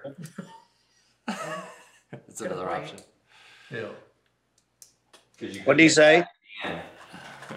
I was just saying that if you wait and you wind up spending seven thousand dollars more to get the one that you do that just has the springs, and you could have one now for the difference as a taxpayer, I'd rather you guys just got it now. Yeah, that's, so Mark, that's not an option. That's on the, and that's the way it's gonna stay, right? Right. Oh, so remove that. Right. So I will say that my, my, both of my sons, they're nine and twelve, and both of them can lift up ramps on one of those trailers because they helped Kevin at work at Percy's with the same thing. Just to throw that in there. Why is she talking? Jalebi, have an opinion.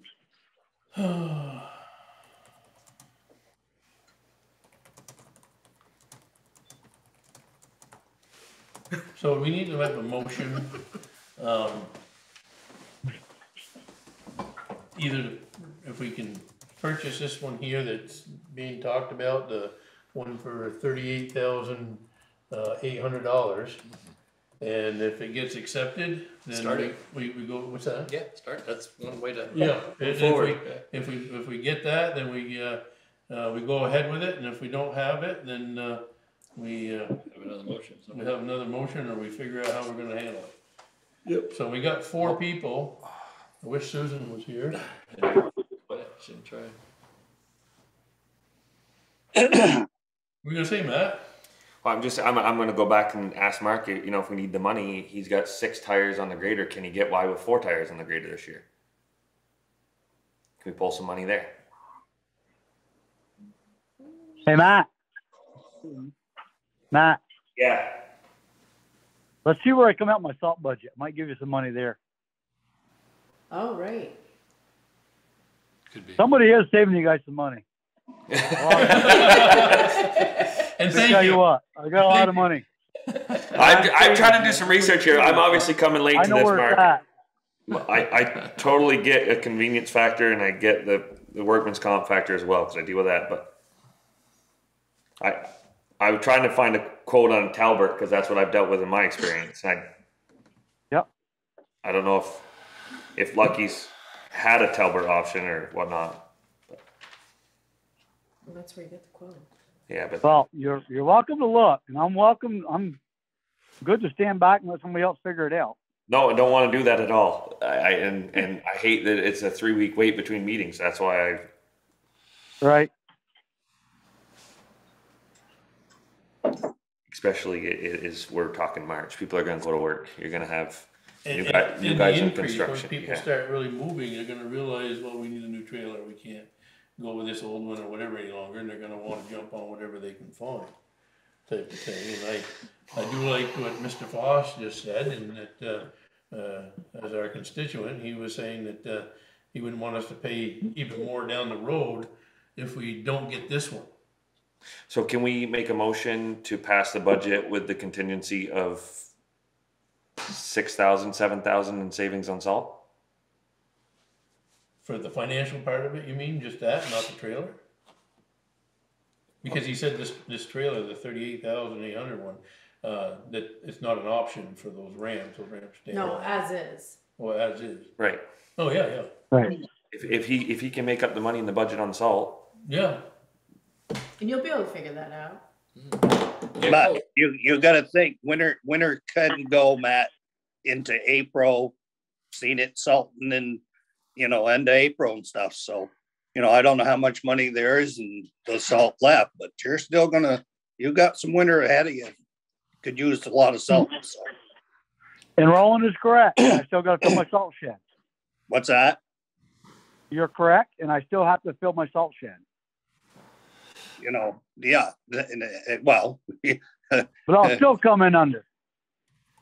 Well, I, I, you know, I don't know. I mean, I don't know what the weather is gonna be. If I had a crystal ball, probably wouldn't be doing what I'm doing, but, uh, Thank you for you never know. Take care. It's hard to do that. Salt brine's working for us. We should come under, for sure.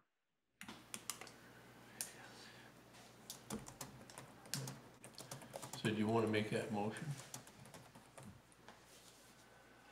I will. 'cause I'm had it. So I'm gonna make a motion that we approve the purchase of the trailer from Lucky's, the, which one do I wanna call it? the fellings. The Fellings, um, for the thirty-eight thousand. With Thirty-eight, eight in it. Thirty-eight eight, yes, Yeah. sorry, thirty-eight eight. Um, with the contingency that we find some cash in the salt budget. And Can Well, you get won't know that till June thirty, but you can, s- you Oh. can say that the, Oh, that the monies will come. the monies will come from the highway department savings and whatever, wherever they can save. Exactly, right. Basically, because it's too early to. Wherever Mark can find the money, Mark. To balance the budget. To We'll balance- find it for you, Cass. Yeah, that's Mark's challenge. There we go. Very good. Challenge, Mark. Get a second? I'll second it on balance the budget. All in favor signify by saying aye. Aye. Aye. Roland, are you abstaining or No, I'm not, I'm not saying yes, no, um, no, those opposed? You're opposing? yes. Okay. So I believe the ayes have it, uh, three to one. yep So. Okay, um, I guess that's resolved. Eleven eleven permits? No, wait a minute, wait a minute. Wait a Got- minute. Got one more. Roland's got more. Okay. On the grader, Mark, you're still there, right? Yep. Okay. I don't know if the rest of the board members know this, but our grader went to Morrisville and graded in Morrisville for two days, I think it was, Mark. Uh, well, kind of one day with my operator and one day with their operator. Okay. My feelings are, and I want to throw this out to the rest of you board members, and I thought we talked about this once before a while ago. If our pieces of equipment go out of town, I would like to see our operators in the equipment. But that's up to you guys to, to think about that too. I It's agree with not just, just not me. I don't like to see a piece of equipment go and have another person run our equipment. I'd rather pay the person from our town time and a half or whatever it's gonna take to run that grader. So Roland, I just wanna, I just wanna add to that before anybody says anything. So if I have an operator available, which, which Roland is saying, I, I agree with. I have borrowed a bucket loader from a surrounding town. We have borrowed a dump truck from two surrounding towns. So does that mean we're in the middle of an ice storm? I'm down two trucks. I borrow a truck. That means, no, my operators should come over and have you guys stay home? Or No, they I'm- have a I'm talking about the grader.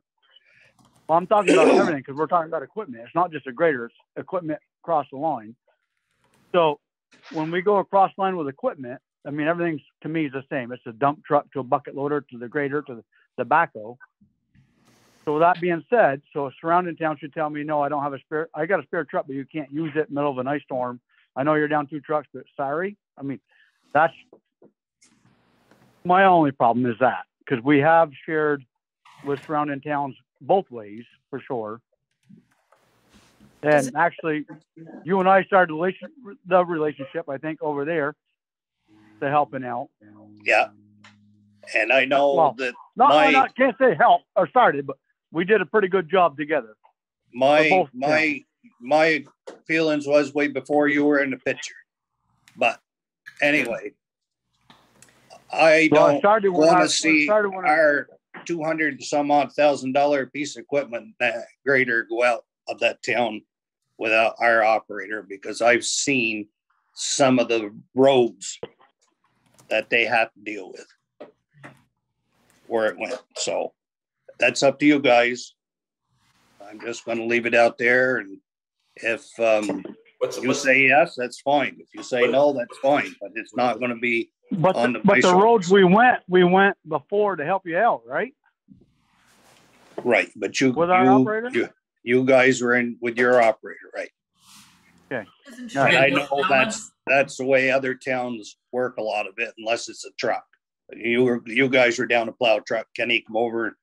He had a plow truck of ours for two weeks. Right. More. And we had But Edens. that's- we- we that's kind shared of a- Bucket loaders or whatever. That's So- kind of a difference. Roland? Um, Yeah. Matt, what were you gonna say? My, my question, does this, does this come with like a lease agreement or is this just handshake mark or how has this worked in the past? Just so you edu- educate me. Well, we It's- usually, we've had, Roland and I work very well together. We had, and I wouldn't believe talking to Kevin, and- we work well together as far as we trade off on the trucking part. So we added up to where it's, it's good for my taxpayers, their taxpayers, whatever. So we haul winter sand, they come help us or whatever. We usually pay it off that way. We've come to Johnson and ice storm. They had no trucks or they were down two trucks in the middle of a big ice storm, had to cancel school. This is back a few years ago. Mark LaHoyer and I came down to help them guys out, got school going. Our roads were good. So everybody had school. They paid us back in trucking winter sand. Usually it always washes out with hauling sand or hauling gravel to resurface the road. Mark, We have a very good mutual aid system between us with the towns. And it usually comes down to the road foremen and we all come to a pretty good agreement that makes everybody happy in the end. Mark, what about equipment specific? What I'm saying is, if we just deal with the grader and not, uh, worry about the trucks or something like that, because it is a specialty, whenever we hire somebody for the grader, uh, we look for that specialty in that individual to, uh, be able to operate it, uh, e- effectively and efficiently, uh, to get the work done. I'm wondering if And I would, Yeah, go ahead. I would assume that our surrounding towns do the same thing.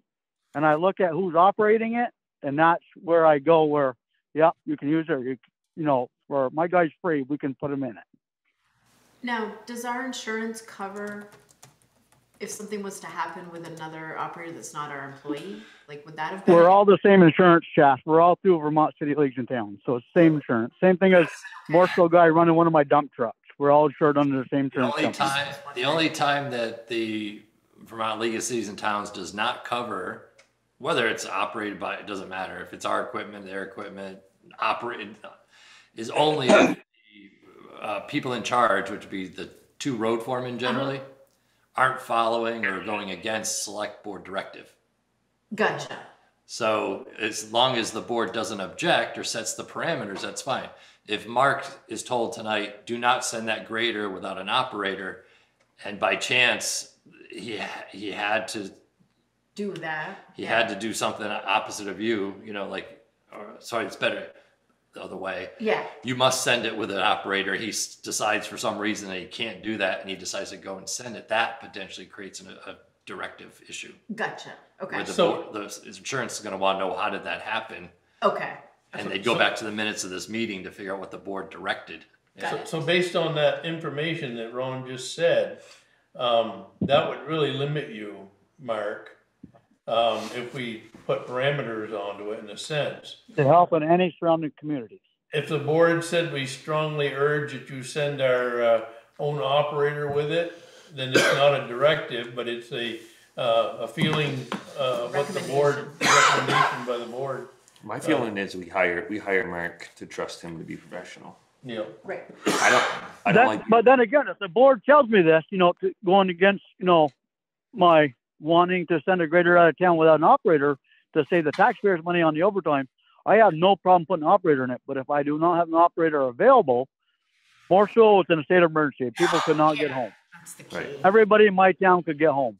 And I've got pictures of every mud hole in my town so I can show anybody who wants to argue the point that they weren't really dragging bottom. It wasn't, nobody was getting pulled out of the mud hole. The worst one we did have, and thank you to Allie Judkins for calling that one in, but that was the worst one we had in town all year. And if you look at Channel 3 News, we've been very fortunate in town of Hyde Park. Yeah, We really have. you know. Yeah, I feel like helping the surrounding towns, especially in an emergency situation, which I would consider Friday was an, or third, whenever you did it, that was definitely an emergency situation. It was. Friday afternoon. Well, I had to, they wanted us first thing Friday morning, and I had a couple spots that weren't total emergency, but I wanted them a little better than they were. So my guys did everything that I had on my list. Then I said, after I clear that up, I can send everything over to you guys, but not until, no, I got to make sure all my taxpayers can get home. I got to make sure I can get an ambulance and fire department to every household in Hy- Hyde Park before I go out of town. But if that's in my head that I'm good, and I know they're not good, then we, I feel there's a little obligation. You got to help your surrounding towns. Like Yeah. we're all together. They would help me, and I got to help them. This is nothing to do with helping surrounding towns. This has got to do with, do you want your grader to go to another town and run by another person in another town?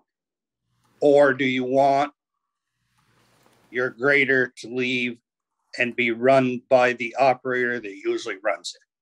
That's the way I'm going. It's up to you which way you guys want to go. It's nothing about helping the surrounding towns. I'm willing and everybody's willing to help anybody, but. But Roland, if I don't have an operator available on a Sunday and they're working on a Sunday, should I say, no, it's got to sit here all day? I know you guys really need it, but I don't have an operator. I would go with the agreement that That's, that's where I'm at. That's where I'm at with that one. It, it, And if I have an operator, I'm good sending him. If you want me to send him, I'll send him. But if I, my operators say I I can't do it, I have to go to a funeral. So we're gonna say that sorry, nobody can help you out because we got a guy. he's got to go to a funeral for a family member. And that's actually kind of what happened this last this last week. So I feel like we can make the recommendation that Mark, we trust and you use your own, you use your judgment as you have been.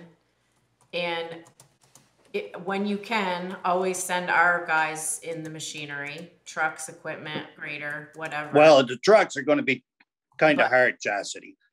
The trucks, they're a dime a dozen. I disagree with you. Well, I, the grader, Find money to buy one. I don't think they're a dime a dozen. We just- they, they're, they're, they're a lot.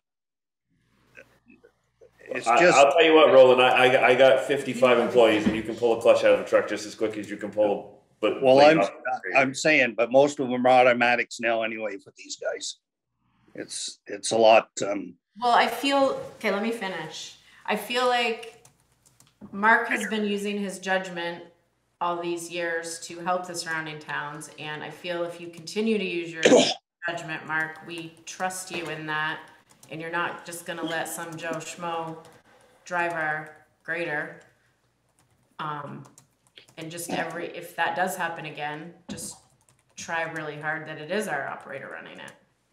I would say mm. advised by advised by the select board that a qualified operator is in the position. Yes. there we Period. go. I mean, because I don't want to get into this. w- w- Mark brings it up. We got we got we got a loader. We need a loader. So you know what? You can screw up a loader. Whether someone wants to believe it or not, you can. I've seen it. I deal with it uh, every day. But I don't want to get into the point where we're telling Morrisville to piss up a rope, and when we need a loader, we need a loader. I mean, we are a small community. They're a small community. It's an emergency situation. I don't think we're we're lu- what what are we talking? Five times a year, Mark? No, not five times. uh, I'm talking a couple times a year. Honestly, a couple times a year. It's nothing. No. It And comes- well, I say that. I say that. You got thirty. But no. Three thousand people paying taxes to this. You know, we, we gotta we gotta pay the right respects to the town payers. That's what it comes down Yep. to. I mean, Yep.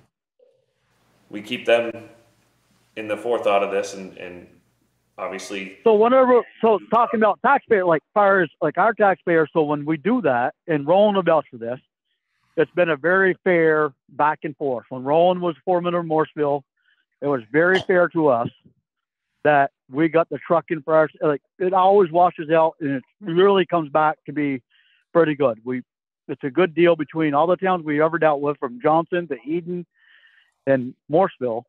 We've always, so the foremans, we all get together, we make the kind of the deal, and it always comes back to where we have trucks hauling our sand in and whatever to help us out. It's always been a very good deal. We need to put this into a motion, right? Nobody's losing in the end, usually. No.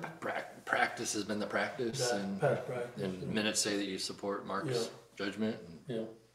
That's Okay. kind of how we'll sit. moving on. So moving on. Okay.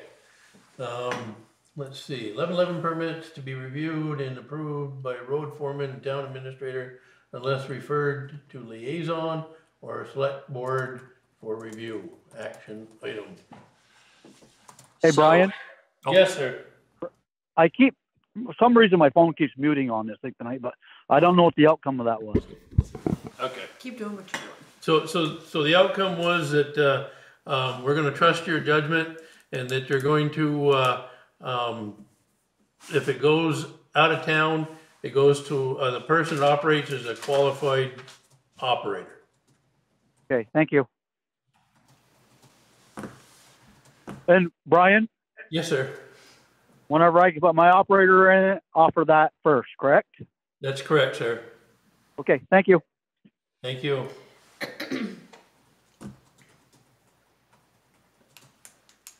Okay, back to eleven eleven permit. That was a good summary though, I gotta. You were waiting for another opportunity.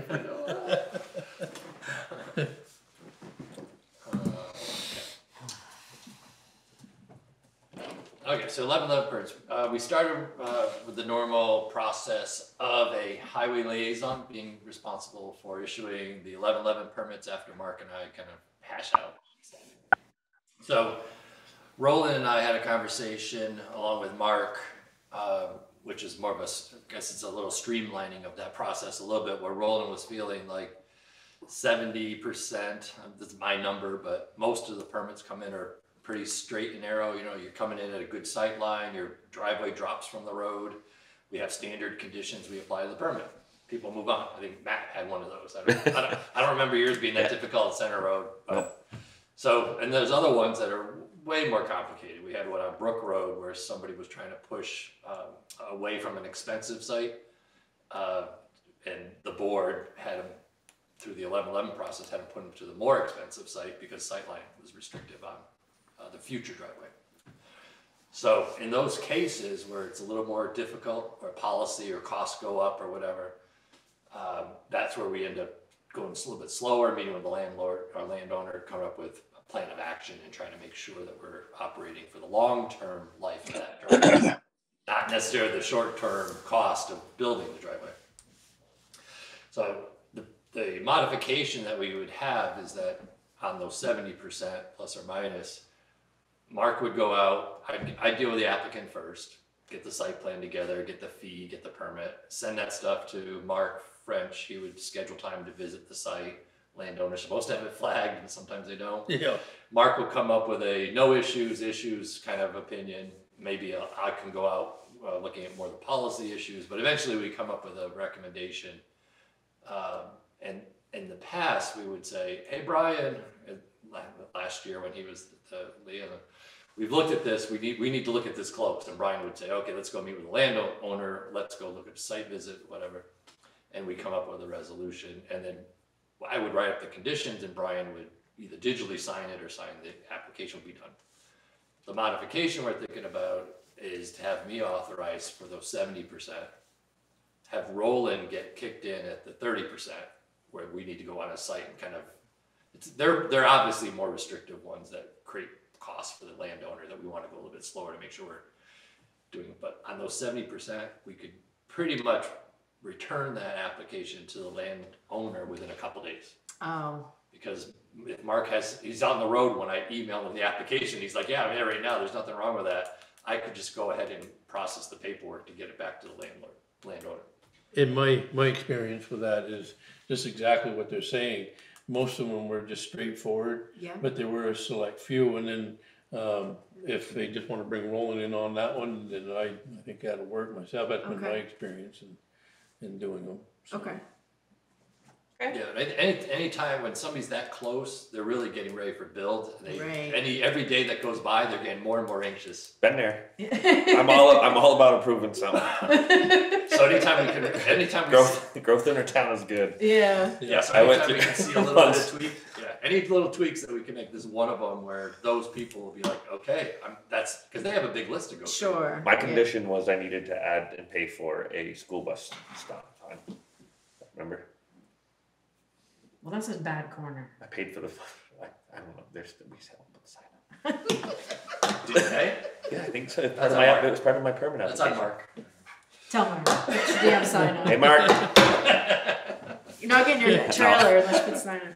Hey, so I'm gonna make a motion that Ron is going to approve that said seventy percent of the permits that come in that are really easy on the eleven eleven permits. These are no denial, right? No, Ron, right, Ron no makes no issues, denials. no- Yep, no These are approval only. And the rest will go to the highway liaison and Mark for that final approval.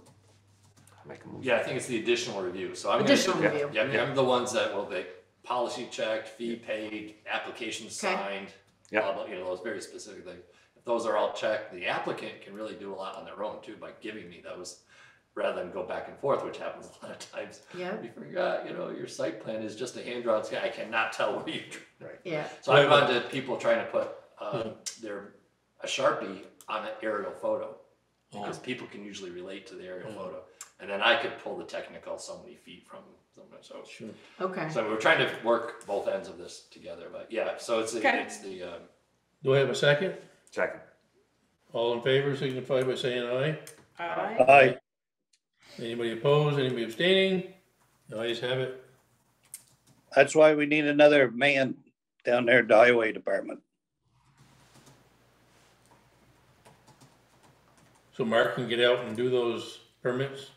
Well, relieve him up some. Yeah. That's supposed to be talked about this fall. Yes. This fall or last fall? No, la- the- this fall. we pushed it to October, We yeah. pushed it till this year. We couldn't. we Roland, I couldn't still do- agree hundred percent. Well, we couldn't do both of them. We had to do one at a time. I know, I do agree hundred percent.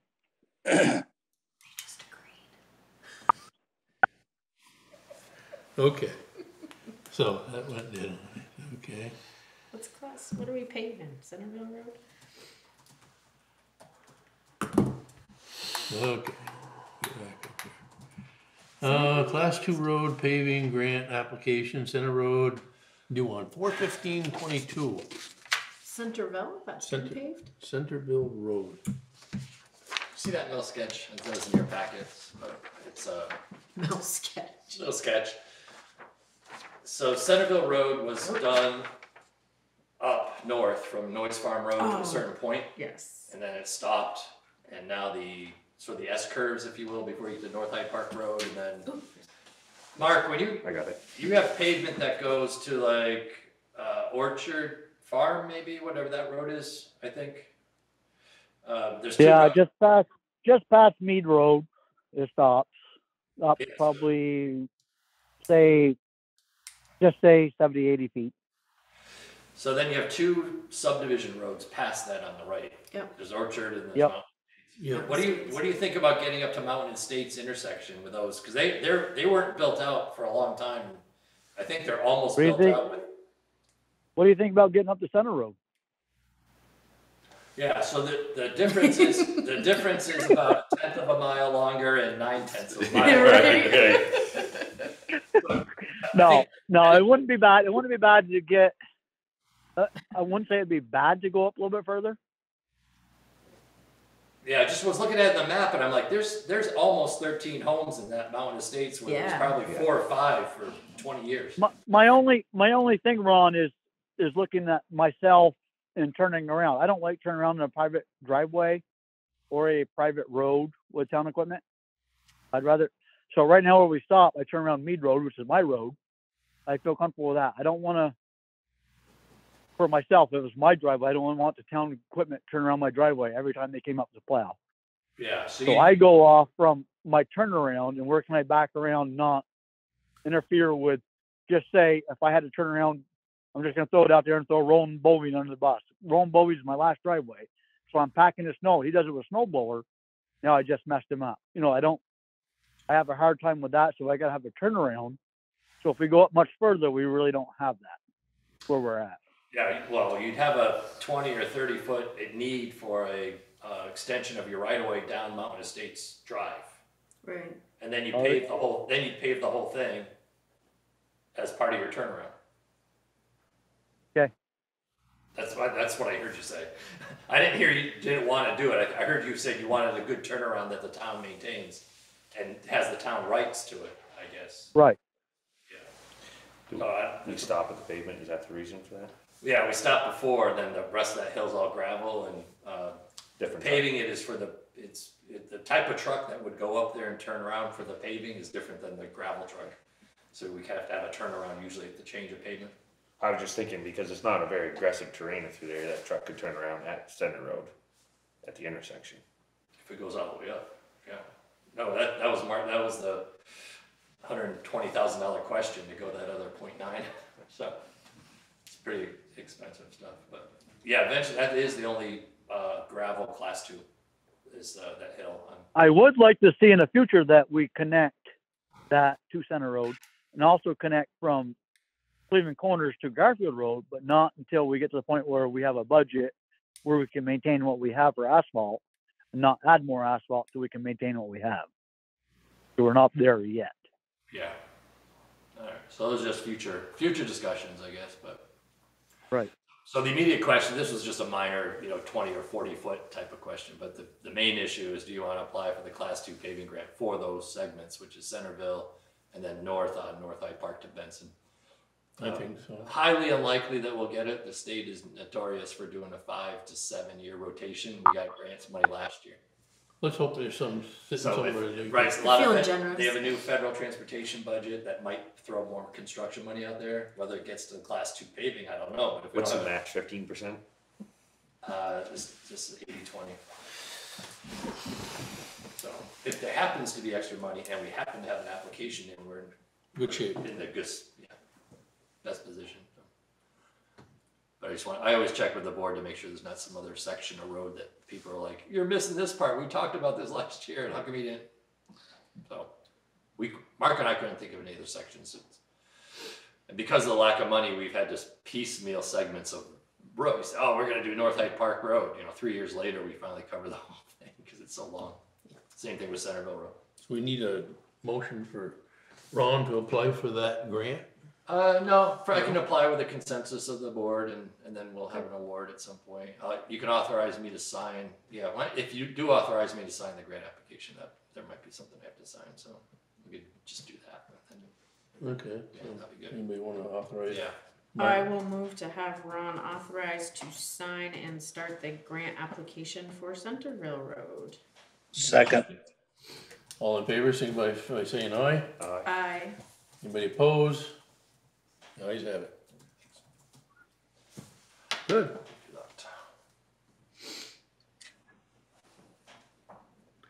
Okay, what do we got left? Uh, everybody had a chance to look at the minutes Yep. for, uh, Good job, last Ron. two, yeah, Thank you. yeah. good- good job. Any, any questions on that, on the minutes? And I'll need a motion to accept the minutes for three, seven, twenty-two. So moved. Second. Uh, All those in favor of accepting the minutes as written, signify by saying aye. Aye. Anybody opposed? The ayes have it. Good. Um, now, let's see, other business and notices.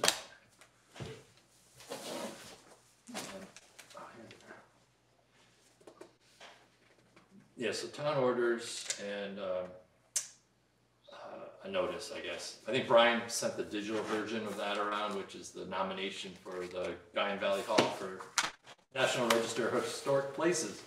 I did, it came in and I saw it and I Yep, forwarded it. good. That's just- Yes. That's the paper, that's moving forward. Mm-hmm. Um, I, I don't think we're objecting to that for any reason. I haven't, re- I don't remember any conversation about rejecting to that. It does add, uh, eligibility for other grants. Okay, so the benefit is to, to Yes. preserve grant money. Yeah, they- Exactly. they- it's sort of like, in, in the details, you'll see, uh, uh, nomination for historic registered places doesn't come with many conditions until you take our money. Yeah, it is, yeah. Will, will That's this, basically what they say. will, will this affect, will this affect their, what they're looking for? No, that's, Currently? any, any designation to actually elevates your grant applications a little bit. Okay. No matter which program you're under. Yeah. Yeah, they'll put a priority on it if it actually gets nominated and approved. The only other building we have is the courthouse on Main Street. That's the only other Hyde Park building that's on the register. Which one? Courthouse. Oh, the courthouse. Yep.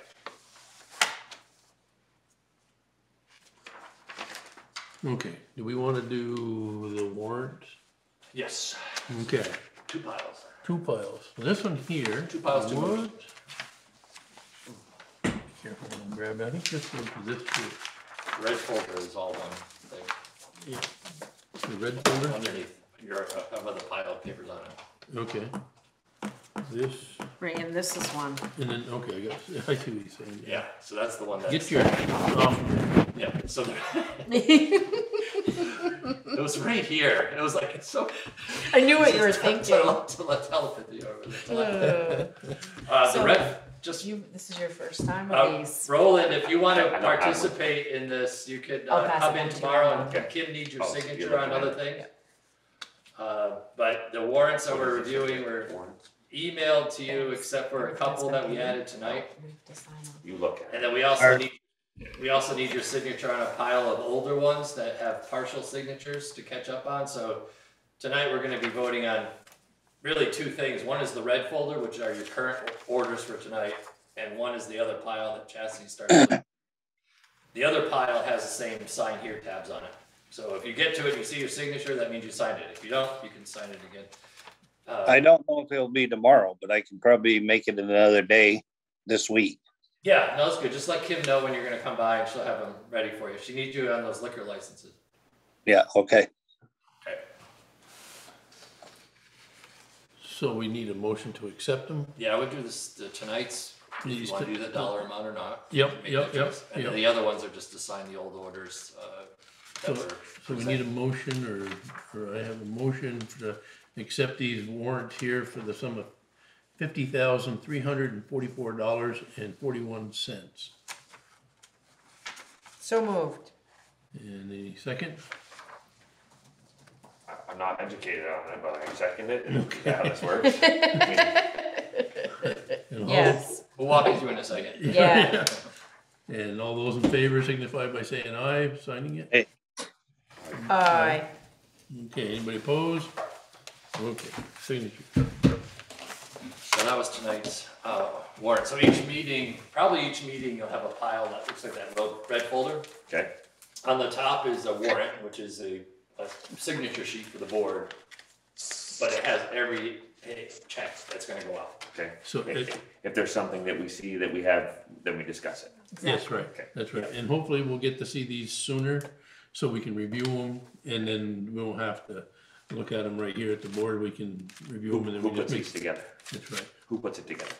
The finance, The finance. Finance finance person. manager will. That we don't have right now. Right. I'm, okay, I'm, I'm following. So I'm gonna send this down here and it's got the signature, but the, all the other supporting documents are in there for the warrant. Yeah, so, yeah, Kim and I went through and we've been going through the finance office and pulled together, um, you know, every time we look, we find maybe another set of invoices that was missed or whatever, so it's still, I would say we're, I, I wanna say that we're ninety-five percent good, um, but we haven't gone through all the piles yet. So we pro- probably will be done in the next couple of weeks, hopefully.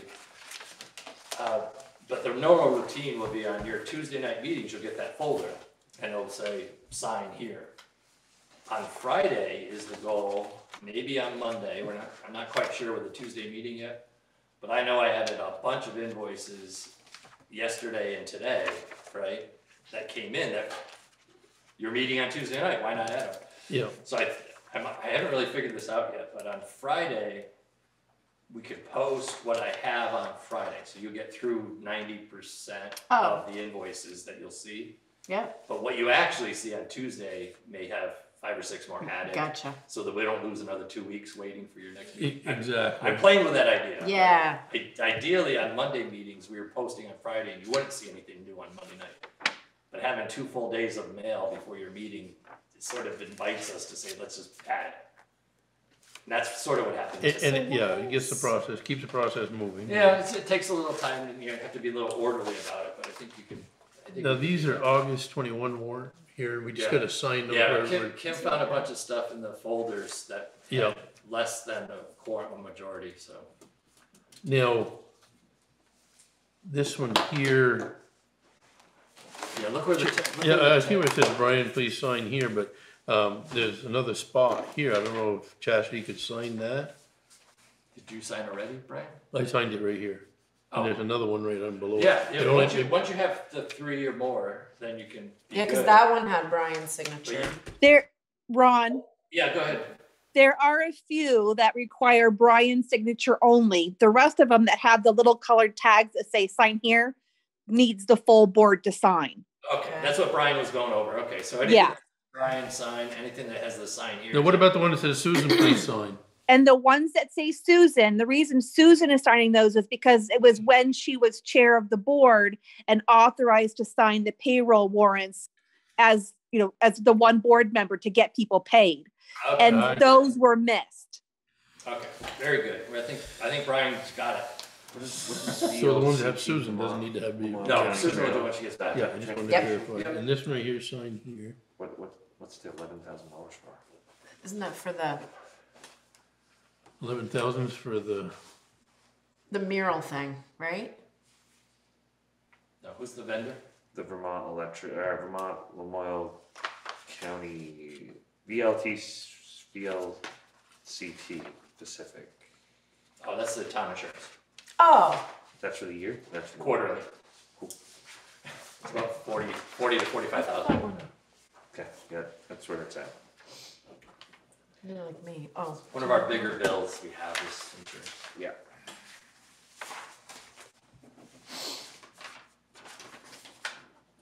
So Kim was just explaining, anywhere it says sign here, everybody sign. Yep. It has a blue tag with a name, that's what it's for. Uniforms, that's all the guys in the yard. That's, Highway. Yeah, there's five uniform sets in the winter and four in the summer. Uh, we are having a debate internally about the cost of, uh, Cintas, which is our uniform company. it's a lot. It is wicked expensive. So uh, like I, I, ours is fifteen dollars a week per person. Through UniFirst. Yeah, yeah. Now, we've had, I think we've had G and K, we have Univer, because they change a Yeah. little bit. I think there's only two vendors now. I think it's UniFirst UniFirst, yeah. see, these guys, right? Yep. So I think, I almost feel like it's uh the car insurance world. Yeah, yeah. Play And one you and switch then- and then the other, they go up and then you get a deal from, so we, we might be time for switching. Cause Right. we cannot afford the two hundred something a week. That's a week. Yeah, see, ours is fifteen dollars per person per week, and that's eleven uniforms Yeah, each. So that's yeah, so it's way, half, way it's half cheaper. of what we're paying. Yeah. Easily, yeah. Ron, is the higher cost because we are outside of the contract? That's what used to happen to um, UniFirst. Li- Literally, the minute our contract expired, the price is practically doubled. Yeah, well, we had, we have two things going on. One is the, um, the highway guys aren't hundred percent confident that some of the replacement items are valid. So what happens is we send a uniform away. If uni, if, um, Cintas thinks that we damaged the piece somehow, let's say a, a torn sleeve, they'll replace it and charge us for the new one at sixty bucks. So all of a sudden your, you know, hundred and twenty dollar weekly bill is hundred and eighty. Right. Got it. Um, what we did last year, because they were taking, I don't know what it was, forty or fifty dollars a week in insurance to pay for those things. Whether we tore anything or not, it was covered by the insurance, these Yep. down, which gives you a just keep stable flipping 'em over weekly and- Perfect. cost. But we weren't tearing it, there was no, there, it was, as soon as we got rid of the insurance last year, They started. every little tear, I think, uh, this is my assumption, is that they're just replacing stuff and getting that fifty bucks or more back that way. So who makes the decision on saying, hey, this is a lot cheaper? Is that something we can push on the Well, we, yeah, we have a contract with Cintas that we'll have to review. Okay. And then, uh, Mark, I think, I don't know if he's still online, but he can put a replacement order on the piece of This uniform. Yeah, Yes. Did you Mark sign put a tag on the piece of uniform and say, please replace, because it's all So torn this and pile they're right done here, with it. this all has to have that. It's the rubber ones band that they back around it, automatically do that. Just are- so- All this? All, all that, yeah. Perfect. Just so we're aware. Okay. We don't have upset, upset anybody. Exactly. Doing such a good job of getting it all organized for us. So that, that was on the finance director's table, the revest. Fair enough. It just takes a little bit of Okay. time to get into it. So these, this is payroll, Okay. So you don't sign where the blues So are, Ron, you only just- sign where the don't- I'm not yellows seeing the are. normal, it says And you'll sign see it's here, library. but it, just sign anywhere um, down in here. I mean, here. and you can look through everything. Susan's the only one that has to sign for the, Uh, for the main payroll. So that's Maybe, why you maybe have I to didn't sign, lift but up you the next page, or can something. obviously look through it it just all. put the tab on the wrong Yeah, one. that's, there's nothing to sign. This is, this is monthly? I'll just look through. it and We see get if I this find it all personal. Well, not usually. That's probably what it is. Yeah. Yeah. And I don't wanna Yeah, mix It's these because it's so behind, so. But no, we'll start getting them every two weeks. Just got that one. I don't think there's any more in here that need to be signed. I'll just start working on this one, but I don't wanna mess them up. How come, how come one is so much less than the others? How come what? weeks.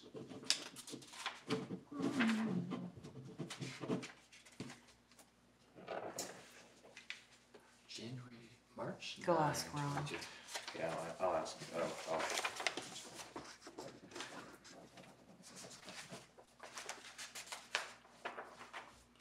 No, these January warrants, Matt, He wasn't around then, Oh, So- shit, right. but it doesn't. Okay. For simplicity, it doesn't. Okay. His Okay. signature either has That's weight true, or it because- doesn't. say I'm looking at Okay. August of twenty-one. He's, le- he's learning right now, so it's hard to piece together Yeah. his history, but, um, I think. he was a know, taxpayer. I think True. When when Roland comes in, he'll finish up the makes signing. Yeah. Hey, Kim, are you there? Yes, I am. I'm looking sleeping. at the, um, uh, posting register report for payroll from March nine. So do I not sign? Uh, all it stuff does previous have to a my sign here enrollment? thing No, here you should, with, because we need it, so. Okay. um, for the board members to sign. And then on one of the time cards, it had a second sign here thing, sign all. But I think the tab is, I don't see any other place in this March 9th for the select board to sign, so. Maybe the tag just accidentally got pulled from a, from a different page and Yeah, I shift. thi- I think so, because I, I don't, I, I'm keeping. There's it definitely this in bound- order, Cause that one's gonna go on top of this this. bound payroll thing that you put together for March 9th Okay, has only you can one handle it. signature page, so. I'm gonna leave I had to it think for a too. second. Gonna call it an extra tab, I guess. You may find a missing side signature page that we can catch up with later. Okay, Okay. Okay, so that one's all set, we'll Yep. put that What one was on that? top And This this. is just like. for- Yeah, Where it was. Pass it down the line. Yeah, where it was, yeah. Now, this is the other pack, and Four what's this one members, you here? frame it, you don't. What? I did. Shows, this is. Why aren't you on here? I don't okay. know. I don't like signing this stuff. Well, who? I just pulled open the report for the select board members and there's four members on it. Chastity's And I'm not is on it. listed, but I got paid, so I must be in a different run. But, but, tho- but, yeah, those there are supposed to be just where you- the board's supposed to sign on those smaller tabs, right? That's what he's doing. Okay, yeah, Yeah, but, so you got Susan Bartlett, Roland Boven, Dave, Brian Jacket, And not me. no chastity payment. Did and I, I think miss that it? came, may- maybe you were doing it on, on screen, on, uh. No, no, this you is weren't- payment. Like this is your, this is the W two, this is the, Yeah. the, the financials behind it. Well, she didn't earn it. I mean, I'm, Oh. I realized what you were saying, and that's what I, I know I got my check. Maybe I didn't. Maybe I. Could be, it could be out of order, I don't know. I know, I feel it's gotta If you be. got your check. I'm pretty sure I did. Is this good to go now? yes. Matt's yes, getting all can start. serious over there. Hey, Okay. I, you know, my name is means something. It does. Oh, does it? Yeah. Oh, oh, does it? Someday you guys are gonna be, pay- somebody's gonna come in and get this piece of paper and want it just for my signature. Um, So all these here go with that order. I didn't see anything. that's in time. Let's go. Okay, now this, I'm gonna keep it together. December twenty-one. Okay. Okay, where's this go? Susan, sign this thing here. Don't be messing it up. You don't have to sign it anymore.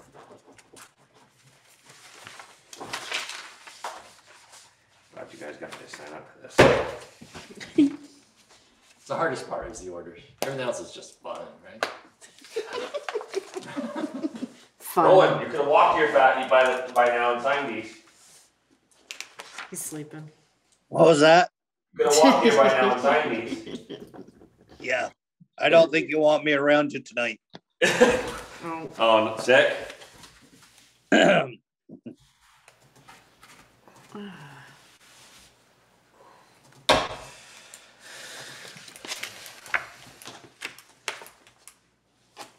you want me to give these back to you, Ron, or are we just piling them up? I'll grab them on the way out. It's just too much. What do you got, an hour drive home? Depends how fast. We have forty-five to fifty-five, somewhere in there. I'm bidding on a job over your way right now. It's gonna be a nasty job. okay. Picked up dirt. From Waterbury all the way. to Those Boise. all go together in that rubber band when you're done. That will keep you busy all Just that, yeah, the rest of them are the bills. Oh, no. Oh, okay. warrants State top. start, Oh, has started okay. to do that. Really? That's what I was, I was like, oh, great. A lot of And other I saw these places other done that tabs, I'm already like, down south. where they go night- Yeah, Everything matched up. Oh, with that. ambulance. So this, like this Oh, one right here already has four That's signatures why. on it. It's prior to my time. Do I still sign it? It's your optional. You can initial it saying that you, you reviewed it. just that kind of thing, but. um, More, more signatures than less is Okay. always better. This is the big warrant.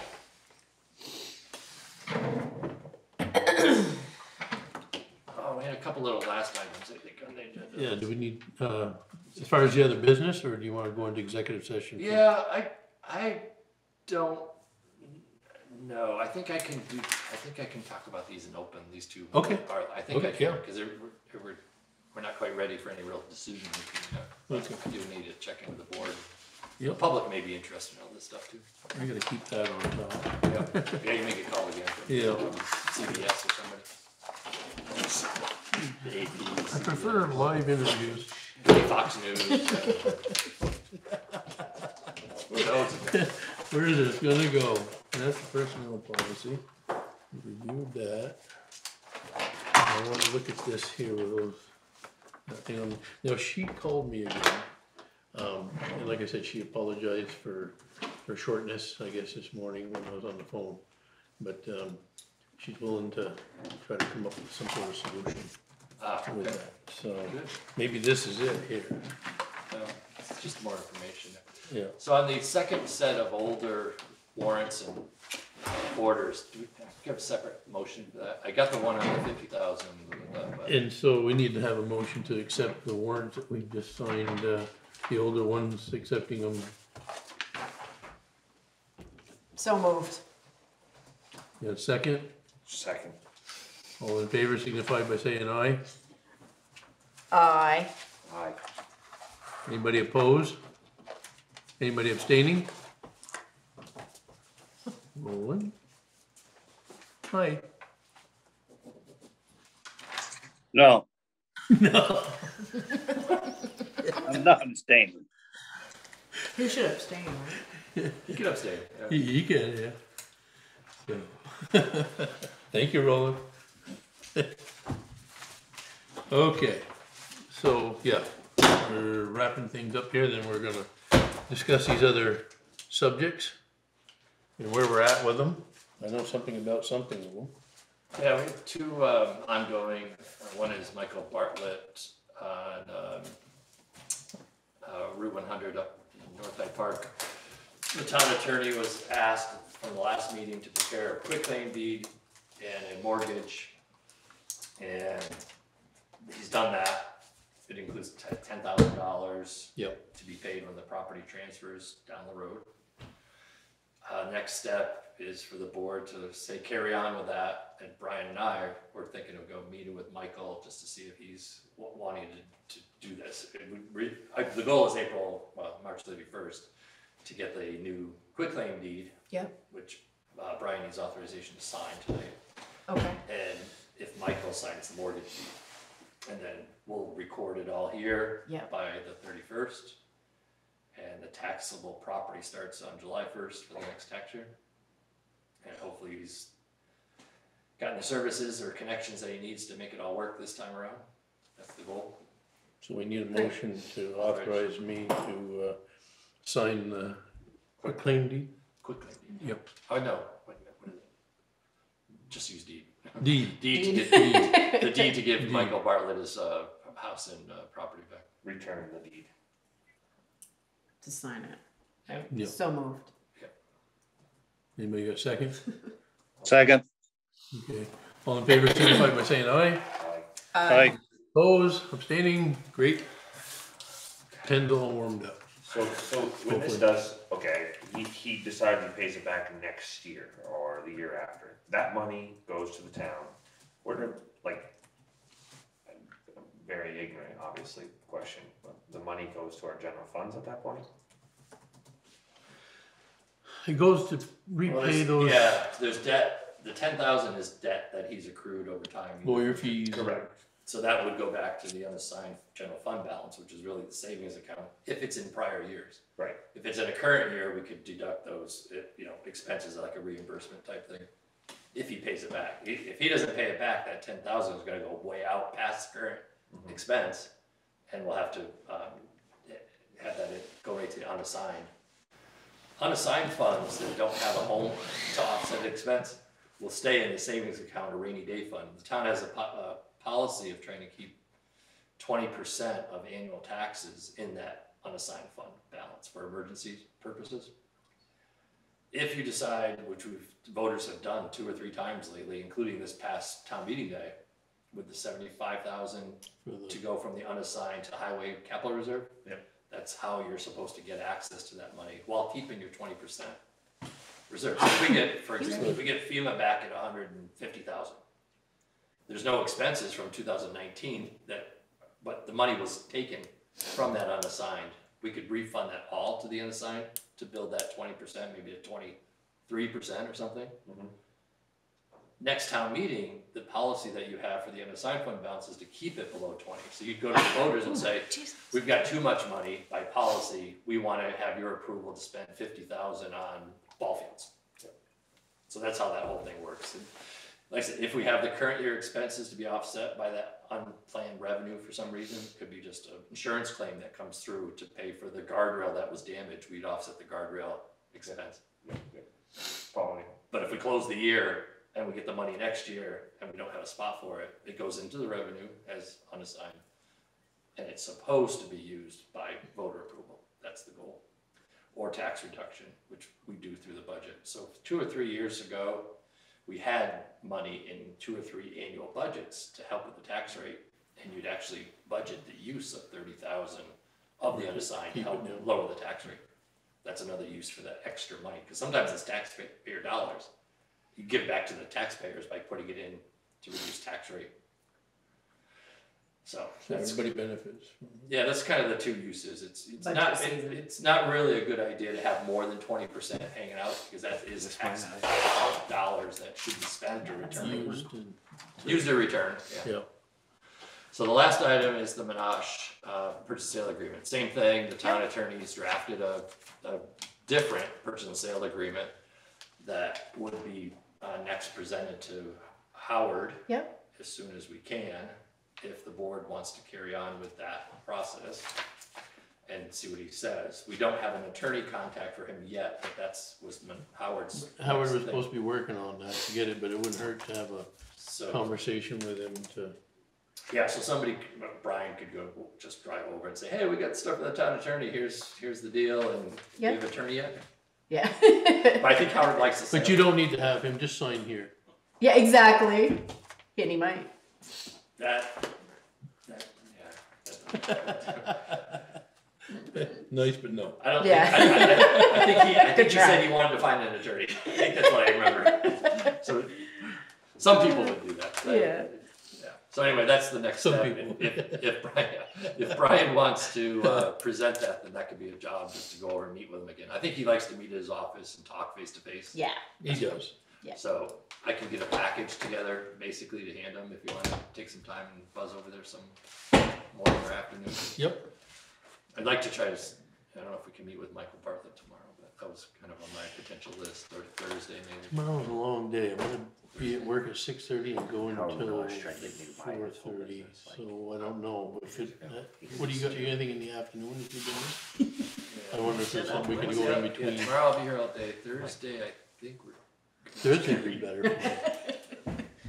Yeah, Thursday, we've got a meeting at five here, so I can do So if I got here by four, we could run up or right up three there. thirty-ish? Yeah, yeah, four's probably fine, Okay. Yeah. I can tell Chastity about the meeting. So you guys are, you guys are going to Michael Oh. Bartlett's at four? You're gonna call him first, or like set that up? I would assume it. Yeah, I have a cell phone number, which sometimes if he runs out of his minutes, we have to go visit him anyway. Fair enough. And I, I didn't realize until, Is he aware of the situation? yeah, He's aware that he, um, is, doesn't have a rent, he doesn't have a lease, he doesn't own the property, but he's living there, he knows that much. Okay. And he also was served with eviction notice in November. So we have that. So this will be another new surprise then that, hey, we're going to. One or the other. this is an option, this is an option. You got Yeah, we only have two options, Yeah, if and carry through with the eviction, which is already ready to go, Or, or mortgage back. or have him mortgage the expenses, cause either, either one of them is his, his situation, he's gotta get himself out of at some point. Uh, and the other, the other option is to wipe it clean, but that doesn't seem fair to everybody else That's either. where I- And it that's sets where I a was at last precedent. meeting. I- I was not It it would set a precedence too for Yeah. others, so. Yeah, and that's not, we, we don't do that for the, the taxes, you know, Yeah. Kim pass her policy, there's no waiver of taxes. You know, Right. it's- It's come up with a payment plan. Right. So I think that's where we're at with all this stuff, it's just like, if you're in this situation, you need to get through your situation. We gave you two years of not adding on to the expenses. Yeah. That ten thousand is old, that's more than half of it's old stuff. Only the five thousand is what I'm trying to manage his account over the last two years. So on the minutes, if, uh, I don't, I don't think we need anything in the purchase and sale agreement at this point. Right. It's not signed by us, it's, it's Exactly. just trying to come up with a draft that both can sign at some point, so it's really just Yeah. delivering it. I wanted to make everybody aware of too, that, um, um, when I was envisioning that spot up there in Garfield, at twenty-five acres, I was envisioning that the, uh, um, that whole field, all the way over to, uh, the, um, Davis Mhm. residence was the, the property, and it's not. No. It's, it's back about, Halfway. about half of that in there. And then, uh, uh, Roland and I got talking about, um, uh, the pit that the town of Morrisville has. And, uh, how far, uh, setbacks they have to be away from the edge of the properties and roads. And just to keep in mind that, uh, you've got residents and road all the way around that. So two sides are public, uh, road. We'd have to stay back on that if it was used for a gravel pit. And then there's the Davis side, um, in there. Um, if that ever became available, it'd probably be a great addition to the, uh, the current property if we're gonna use it for gravel. But when you narrow it down, it doesn't give us much in that, if you look at it. Uh, uh, Roland? Yeah. Um, how far were the setbacks on the one from Morrisville? a long ways. And, and the biggest thing is the, is the water. Water, drinking water. There's houses, there's houses right around there. And, and then the, the one that, uh, Howard, the property, the one point two acres, I, keeps coming to my mind, that Howard wants for his granddaughter. Uh, one reason is because there's a well right there on that property from the prior owner that was there.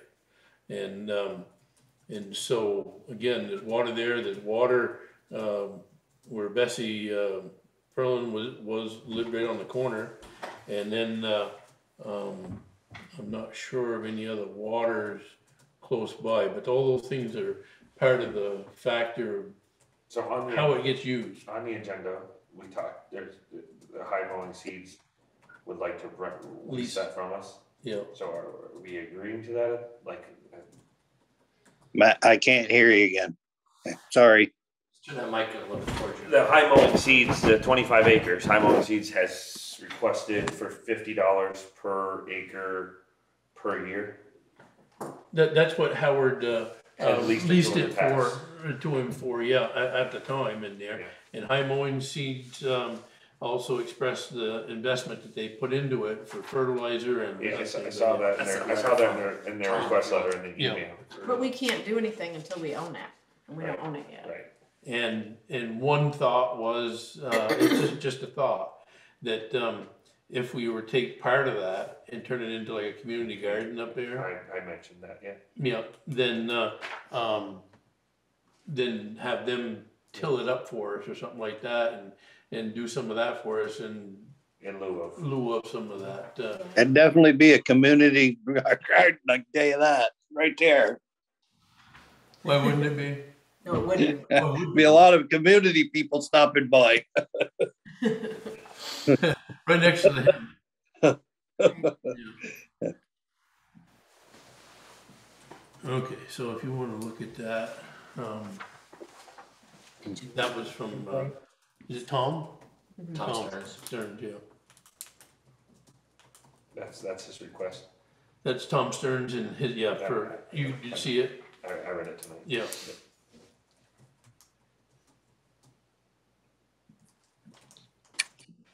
What, what, what is the setbacks, Ron, on, on something like that anyway? I mean, you're, you're talking what? 50, 60 feet property line on a gravel pit?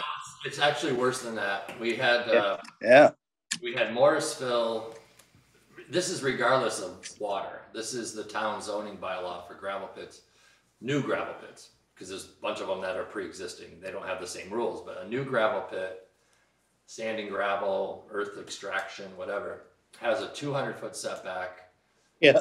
plus, plus uh, 300 for equipment. So when you put those around the edge of the property, you end up with a whole bunch less dirt to move than you might think you do. Going down. Oh, yeah. We still have a hundred year expectancy in our pit though.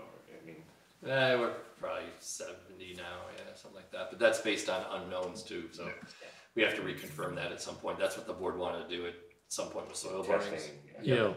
So we'll, we'll get That it. would there. give it a better idea.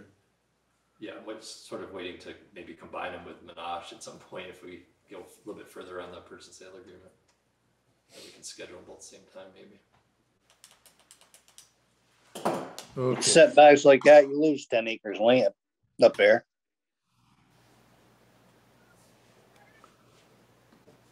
I didn't understand. What was that, Roland? Setbacks, you'd lose about ten acres of land. Oh, oh, ten Yeah. acres out of the twenty-five? Yeah, probably. I mean, you, you, you, you surround it. I mean, you got the road on both sides.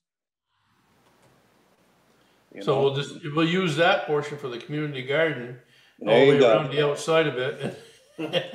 And That'd be a put up a hell good of a community garden, all right. They can't, they can't keep vegetables and they got with the one morsel right in the village. and They can't keep vegetables in it. Well, they, they've got a lot of homeless people go down there and visit that and Oh, is that what it is? kind of helps, helps themselves. Plus they're planting other stuff there, right here So where are we at? So that was everything, discuss real estate purchase, yeah. Personnel matters under one VSA three thirteen A two through three. That's our op- open meeting for that. We didn't move. Those are, that's the citation. If you do move, you're supposed to cite the statute to move in. Yeah. Oh. Didn't need that. Didn't need I just put a possible on there just as a placeholder, so you may or may not use it. How about other business? Anybody else got anything that's brewing or anything want to talk about? Um, I see Michael Rooney is still on. Uh, Mike, is there anything that you want to add?